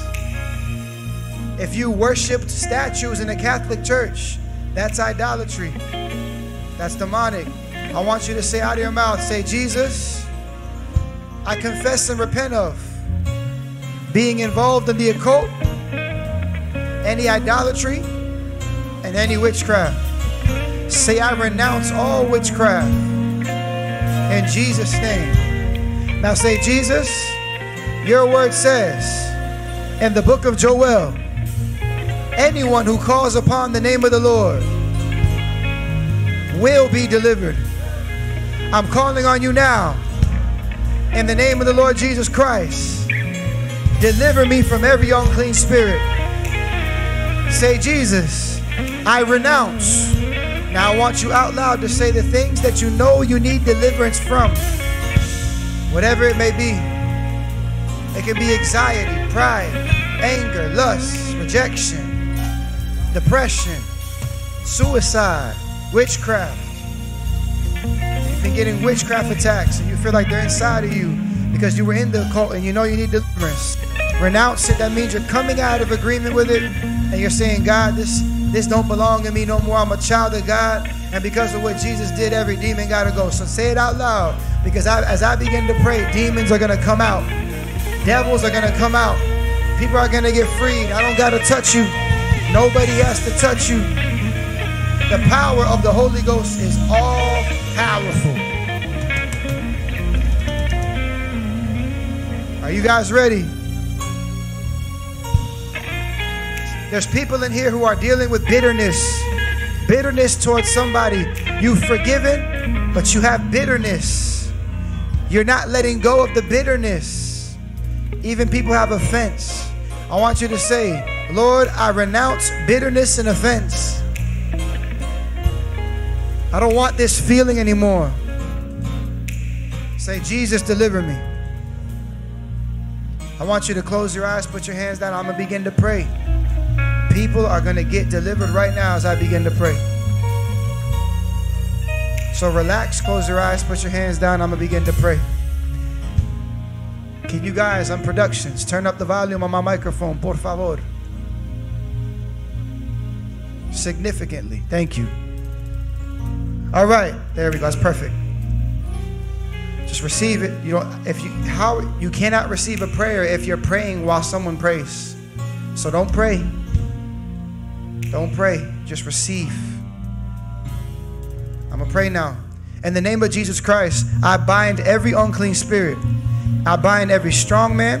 I bind every Jezebelic spirit, every spirit of Leviathan, every spirit of Python, every spirit of rejection every principality, power, and ruler of darkness, and any spiritual wickedness in high places has to be has to leave tonight. We're breaking the chains and the cord of wickedness. Any soul tie, any unhealthy soul tie is broken with anyone who slept with somebody in the name of Jesus.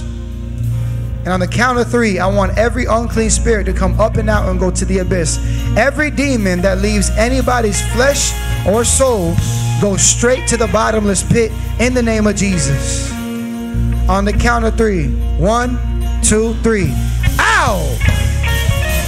Out in Jesus' name. Out in Jesus' name. Out! Out in Jesus' name. Up and out. In the name of Jesus. Out in Jesus' name. Out in Jesus' name. Up and out. I command every spirit of anxiety to come up and come out now in Jesus' name. Any spirit of perversion, up and out in Jesus' name. Any spirit of lust, up and out. All incubus and succubus spirits, up and out in the name of Jesus. Out. Leave them in Jesus' name. Any spirit of Jezebel, Leviathan, up and out. Up and out in the name of Jesus Christ. Every unclean spirit, come up and come out now. Leave in Jesus' name. Leave. Leave. Come up and come out. Leave the nope, leave the arms. Leave the arms. Leave the arm. I bind and paralyze every unclean spirit. You can't hide no more. I break every generational curse or witchcraft off of everybody in here's bloodline. In the name of Jesus Christ. Come out of her. Come out all the way. Leave her. Leave her. All infirmity go. Leave. Leave. Leave. Go to the abyss. In Jesus' name, leave. Leave the stomach. Leave the hands. Everything goes now. In Jesus' name. In Jesus' name. Any unclean spirit of infirmity, I command you to loose. Loose. Every unclean spirit of infirmity, loose now. All depression, up and out in Jesus' name. In Jesus' name. All spirits of idolatry, out in Jesus' name. All spirits of idol worship from the Catholic Church, come up and out and leave their lives right now in Jesus' name. Everything go. Come off the back, every python spirit, every witchcraft spirit leave. In Jesus' name. Everything go in Jesus' name. Leave. Leave. Leave. Leave. Leave. I break every unhealthy soul tie. Come out. Come out in Jesus' name. Ow! Our rejection go. Every spirit of rejection, come up and come out now. Out. Up and out now in the name of Jesus. Out. Leave. Leave her. Her back, her stomach, everything. Out in Jesus' name. Everything leave. In the name of Jesus Christ. Hold on one second. All right. Raise your hand if you felt a physical manifestation in your body right now as I was praying. Come to the front. Could I have pastors come up, please? Pastor Joel. All right. And let me have the deacons and deaconesses come up as well. And please line up in a straight line. Praise God.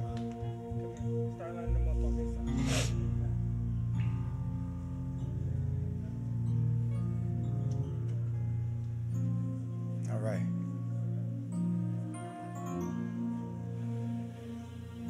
All right, so we're going to lay hands on you, these prayer warriors.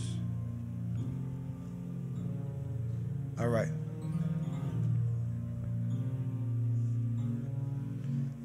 All right, you guys ready? I want you guys to just relax. We're gonna begin to we're gonna begin to command spirits to come out, and we're gonna lay hands. Deacons, deaconesses, pastors, you guys could lay hands now. Lay hands on people, women with women, men with men, and begin to pray. So right now, in the name of Jesus, Lord, I thank you, Father, that right now people are gonna get delivered from demons by the power of the Holy Spirit, Lord, and the faith of your saints. Every unclean spirit come up and come out now in Jesus' name. Up and out now in the name of Jesus Christ. If you if you're in the crowd and you believe you need deliverance, come to the front and you can get prayed for too. Come to the front. And just please line up in that straight line right there.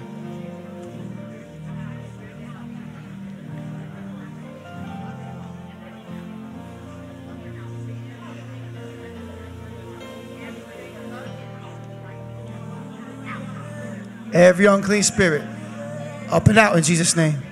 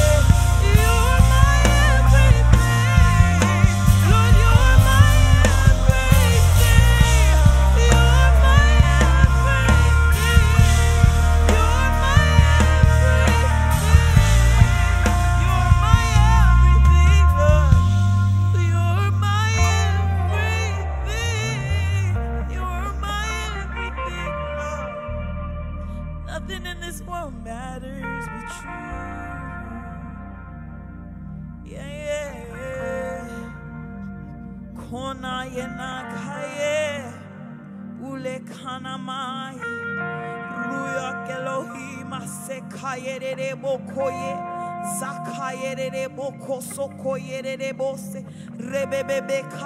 Boso. Oro boso. Ore boso ko. Rabababa se kashe. Rabababa se bobo boso. Rebebe boso koye. Rabababa se boso. Arababa se. All of the power belongs to you God. Boko boko se kashe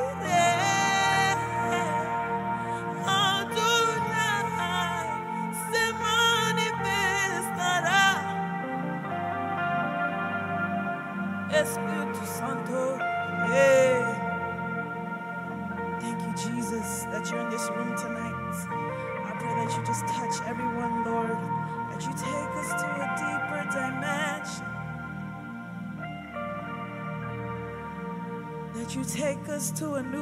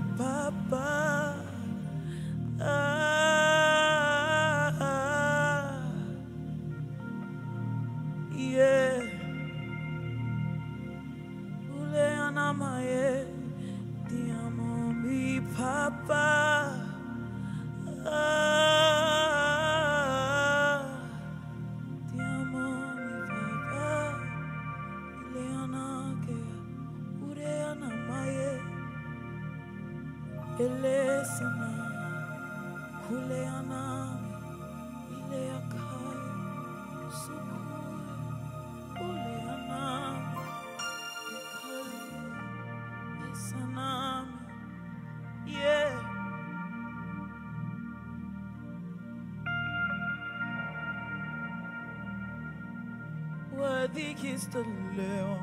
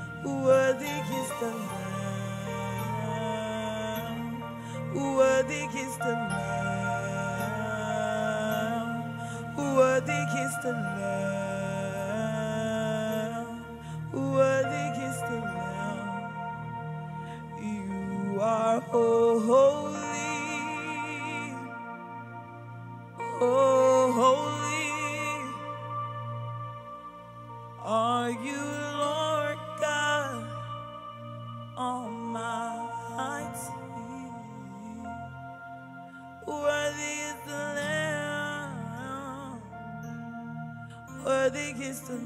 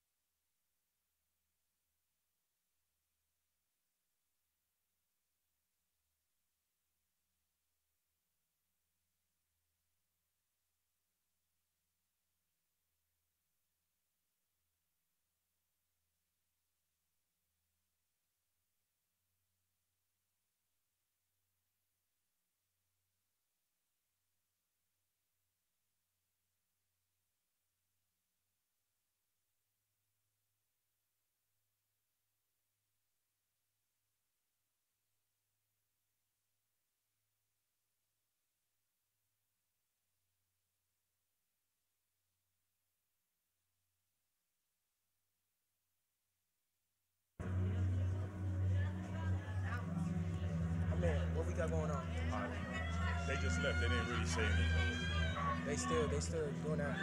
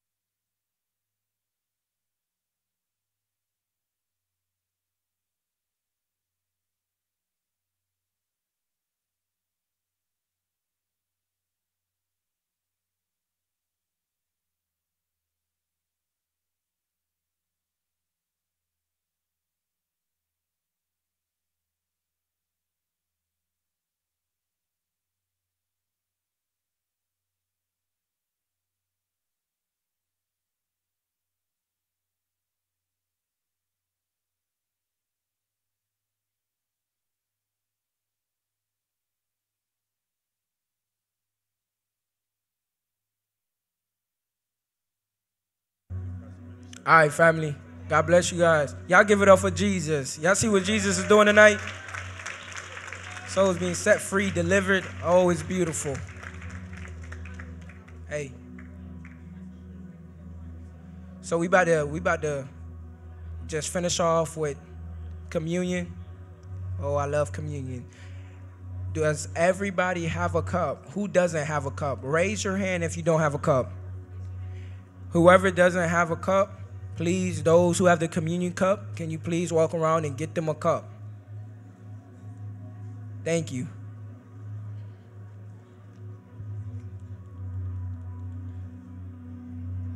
Man, ain't it beautiful what Jesus did tonight?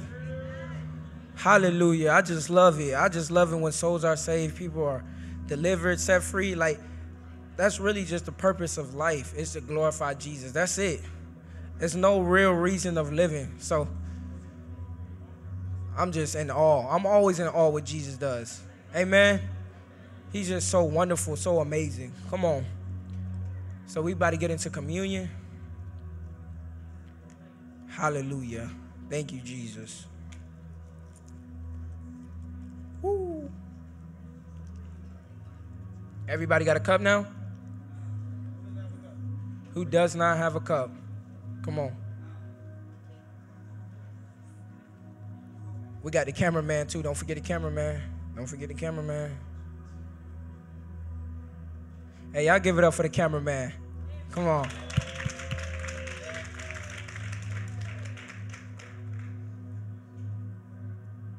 Amen. All right, so that should be everybody now. Amen. All right, communion. Everybody, let's focus up. Let's get our hearts set on communion. Communion is so beautiful. It's something that we are commanded to do in remembrance of what our Lord, our Savior, our King did for us, the sacrifice that He made. Communion is actually a celebration. You know what I'm saying? We celebrate because people don't understand. If it wasn't for His sacrifice, we wouldn't be in this position that we are in right now.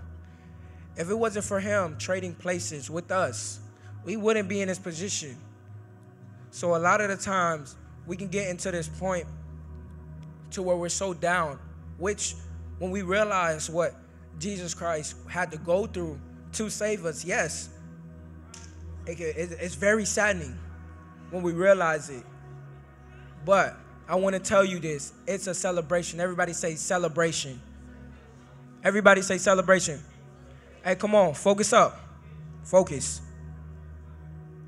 It's a celebration. We remember what Jesus Christ did for us on the cross. We Remember the blood that he spilled just for us, We remember to sacrifice everything, everything. So we're constantly eating the bread of life. Who's the bread of life? Jesus is the bread of life. So when we partake of this, we're literally eating the bread of life. We're eating of Him.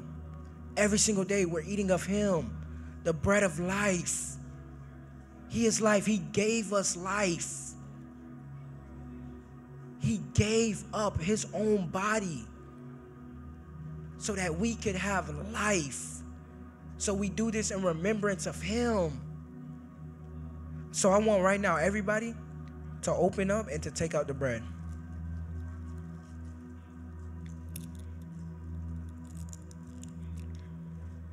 So this bread right here, it represents his body. It represents that everything that he went through, all the suffering, the scourging, all of it that he went through just for us. It represents how he chose to take on our appearance and he gave us his appearance. This, everything that he went through is represented in this bread right here. You see, when it was, when he was having the supper, the day before he was about to get taken and go, he said, This here is my body. Take, eat, and do this forevermore in remembrance of me. Take, here, eat, and do this forevermore in remembrance of me. I always like to say this. This is literally like our pledge. This is our pledge to God. This is our pledge of allegiance to what He did forevermore. Amen. This is the Christian pledge of allegiance. Amen. we don't worry about the pledge of allegiance in the United States. We worry about Jesus Christ. Amen. See, we have to understand that we belong to Him. We are His. That we are only just pilgrim navigating through this world. That we take part in His death, burial, and resurrection. That we remember everything that He's done, and that we know that we, in due time, will be in His in the fullness of His glory. In due time, we will have to leave here. We will have to give up our temporary citizenship here. We're gonna have to give up our green card because right now all of us right now here on earth we're just we're just holding green cards. We're not true citizens this is not our citizenship. We're not true citizen here on earth. Our citizenship is in heaven. It's in heaven. Amen so i want everybody to just take a moment to remember what jesus christ did but remember it and understanding that and, and be glad understand that he knew and he chose to do it for you. He chose to do it for you. He chose that route for you. It wasn't in vain. He knew what he had to go through. He knew the sacrifice that he was going to make for you. So just take a moment and just thank him in your heart. Thank him. Tell him thank you. Tell him how much you love him. Tell him how much you remember everything that he went through that is constantly on your mind, that this is what you live by. And I want everybody right now to take the bread, to break, and you may eat.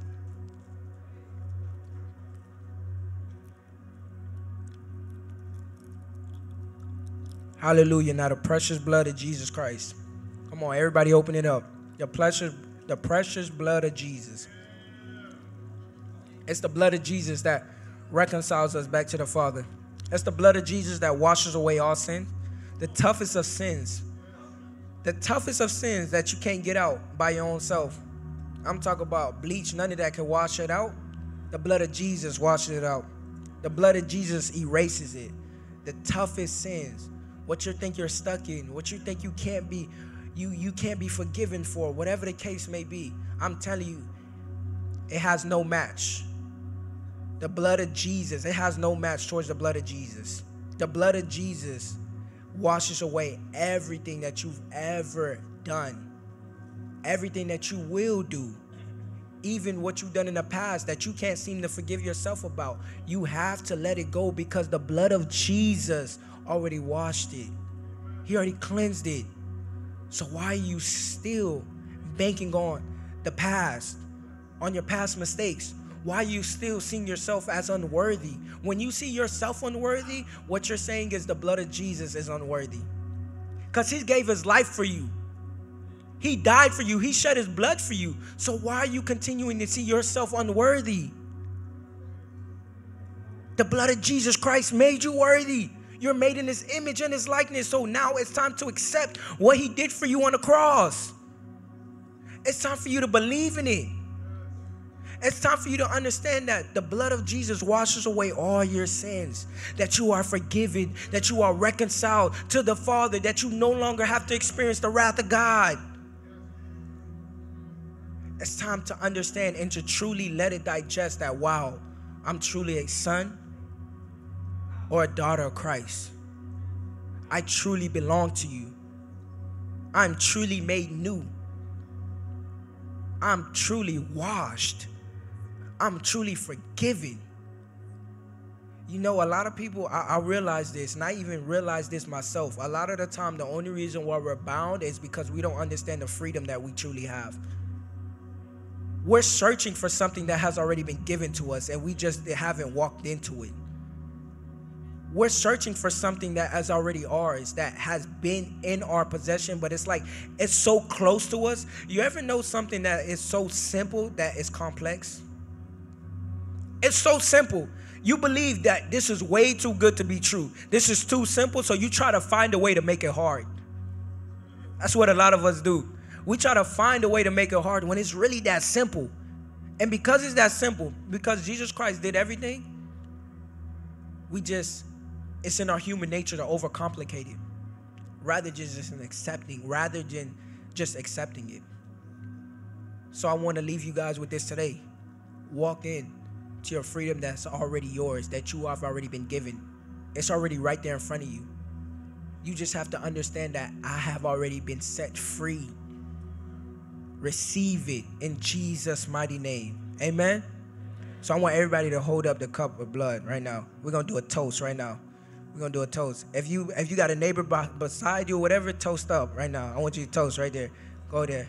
Come on. Hallelujah. So I just want everybody to close their eyes. We're gonna pray real quick.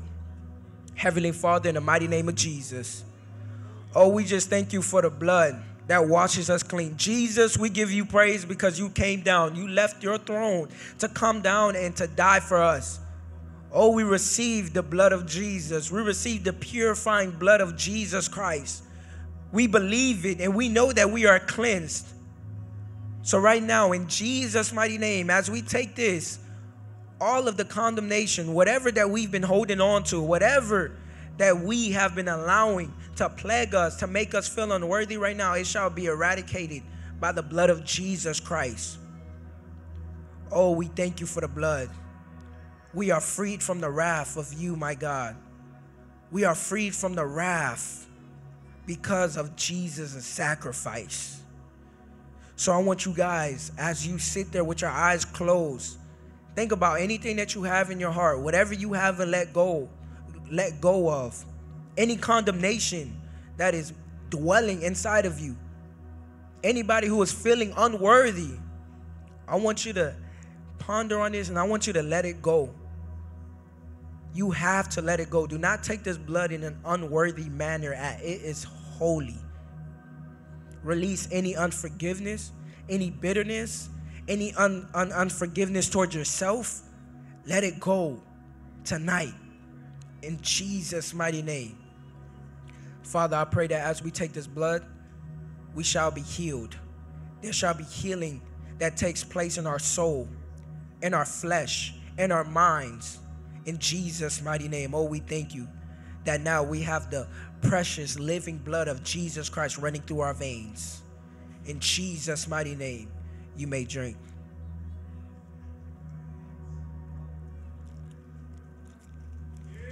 Hallelujah. Come on, y'all give it up for Jesus. Come on. Give him some praise. That's all you got. Give it up for Jesus. Praise his holy name. Hallelujah. Hallelujah. Hallelujah. That's how you break chains. That's how you truly break chains. Praise every time. Praise. Let that be your garment. Garment of praise, right? Amen. I want to leave you guys with this challenge for the rest of the week. going into the new week, put on a garment of praise in every situation. Y'all gonna do that? But every situation that you find yourself in, everything that may seem uncomfortable, something, even if it's not convenient, instead of you complaining, instead of you reacting in any other way, I want you to react with praise. Put on the garment of praise. Let that be your clothes going on. Amen. You guys ought to be conscious to it. Y'all gonna be conscious to it? It takes you being conscious to realize that. So whenever you about to, oh, this person cut me off. Hallelujah. Salvation and glory. Like you gotta be conscious to it. Amen. Amen. And another thing too. You gotta preach the gospel to at least five people. You thought I was gonna say one, five. Y'all gonna do that? Five. Five. Just preach the gospel. I'm talking about you all gotta stop at the gas station to get gas. You all gotta get groceries. And some of you guys, I know y'all like to eat out. So y'all better talk to that waitress or waiter, whoever the case, who come and serve you. Amen? Amen. All right. So now we're about to wrap up. So thank you guys. Tonight was powerful. We truly, truly greatly appreciate you guys for coming out to a fellowship and worship with us. But unfortunately, service has ended. And so, yeah, you guys have a blessed night in Jesus' mighty name. May the may the Lord send angels to protect you on your way home in Jesus' mighty name. Amen.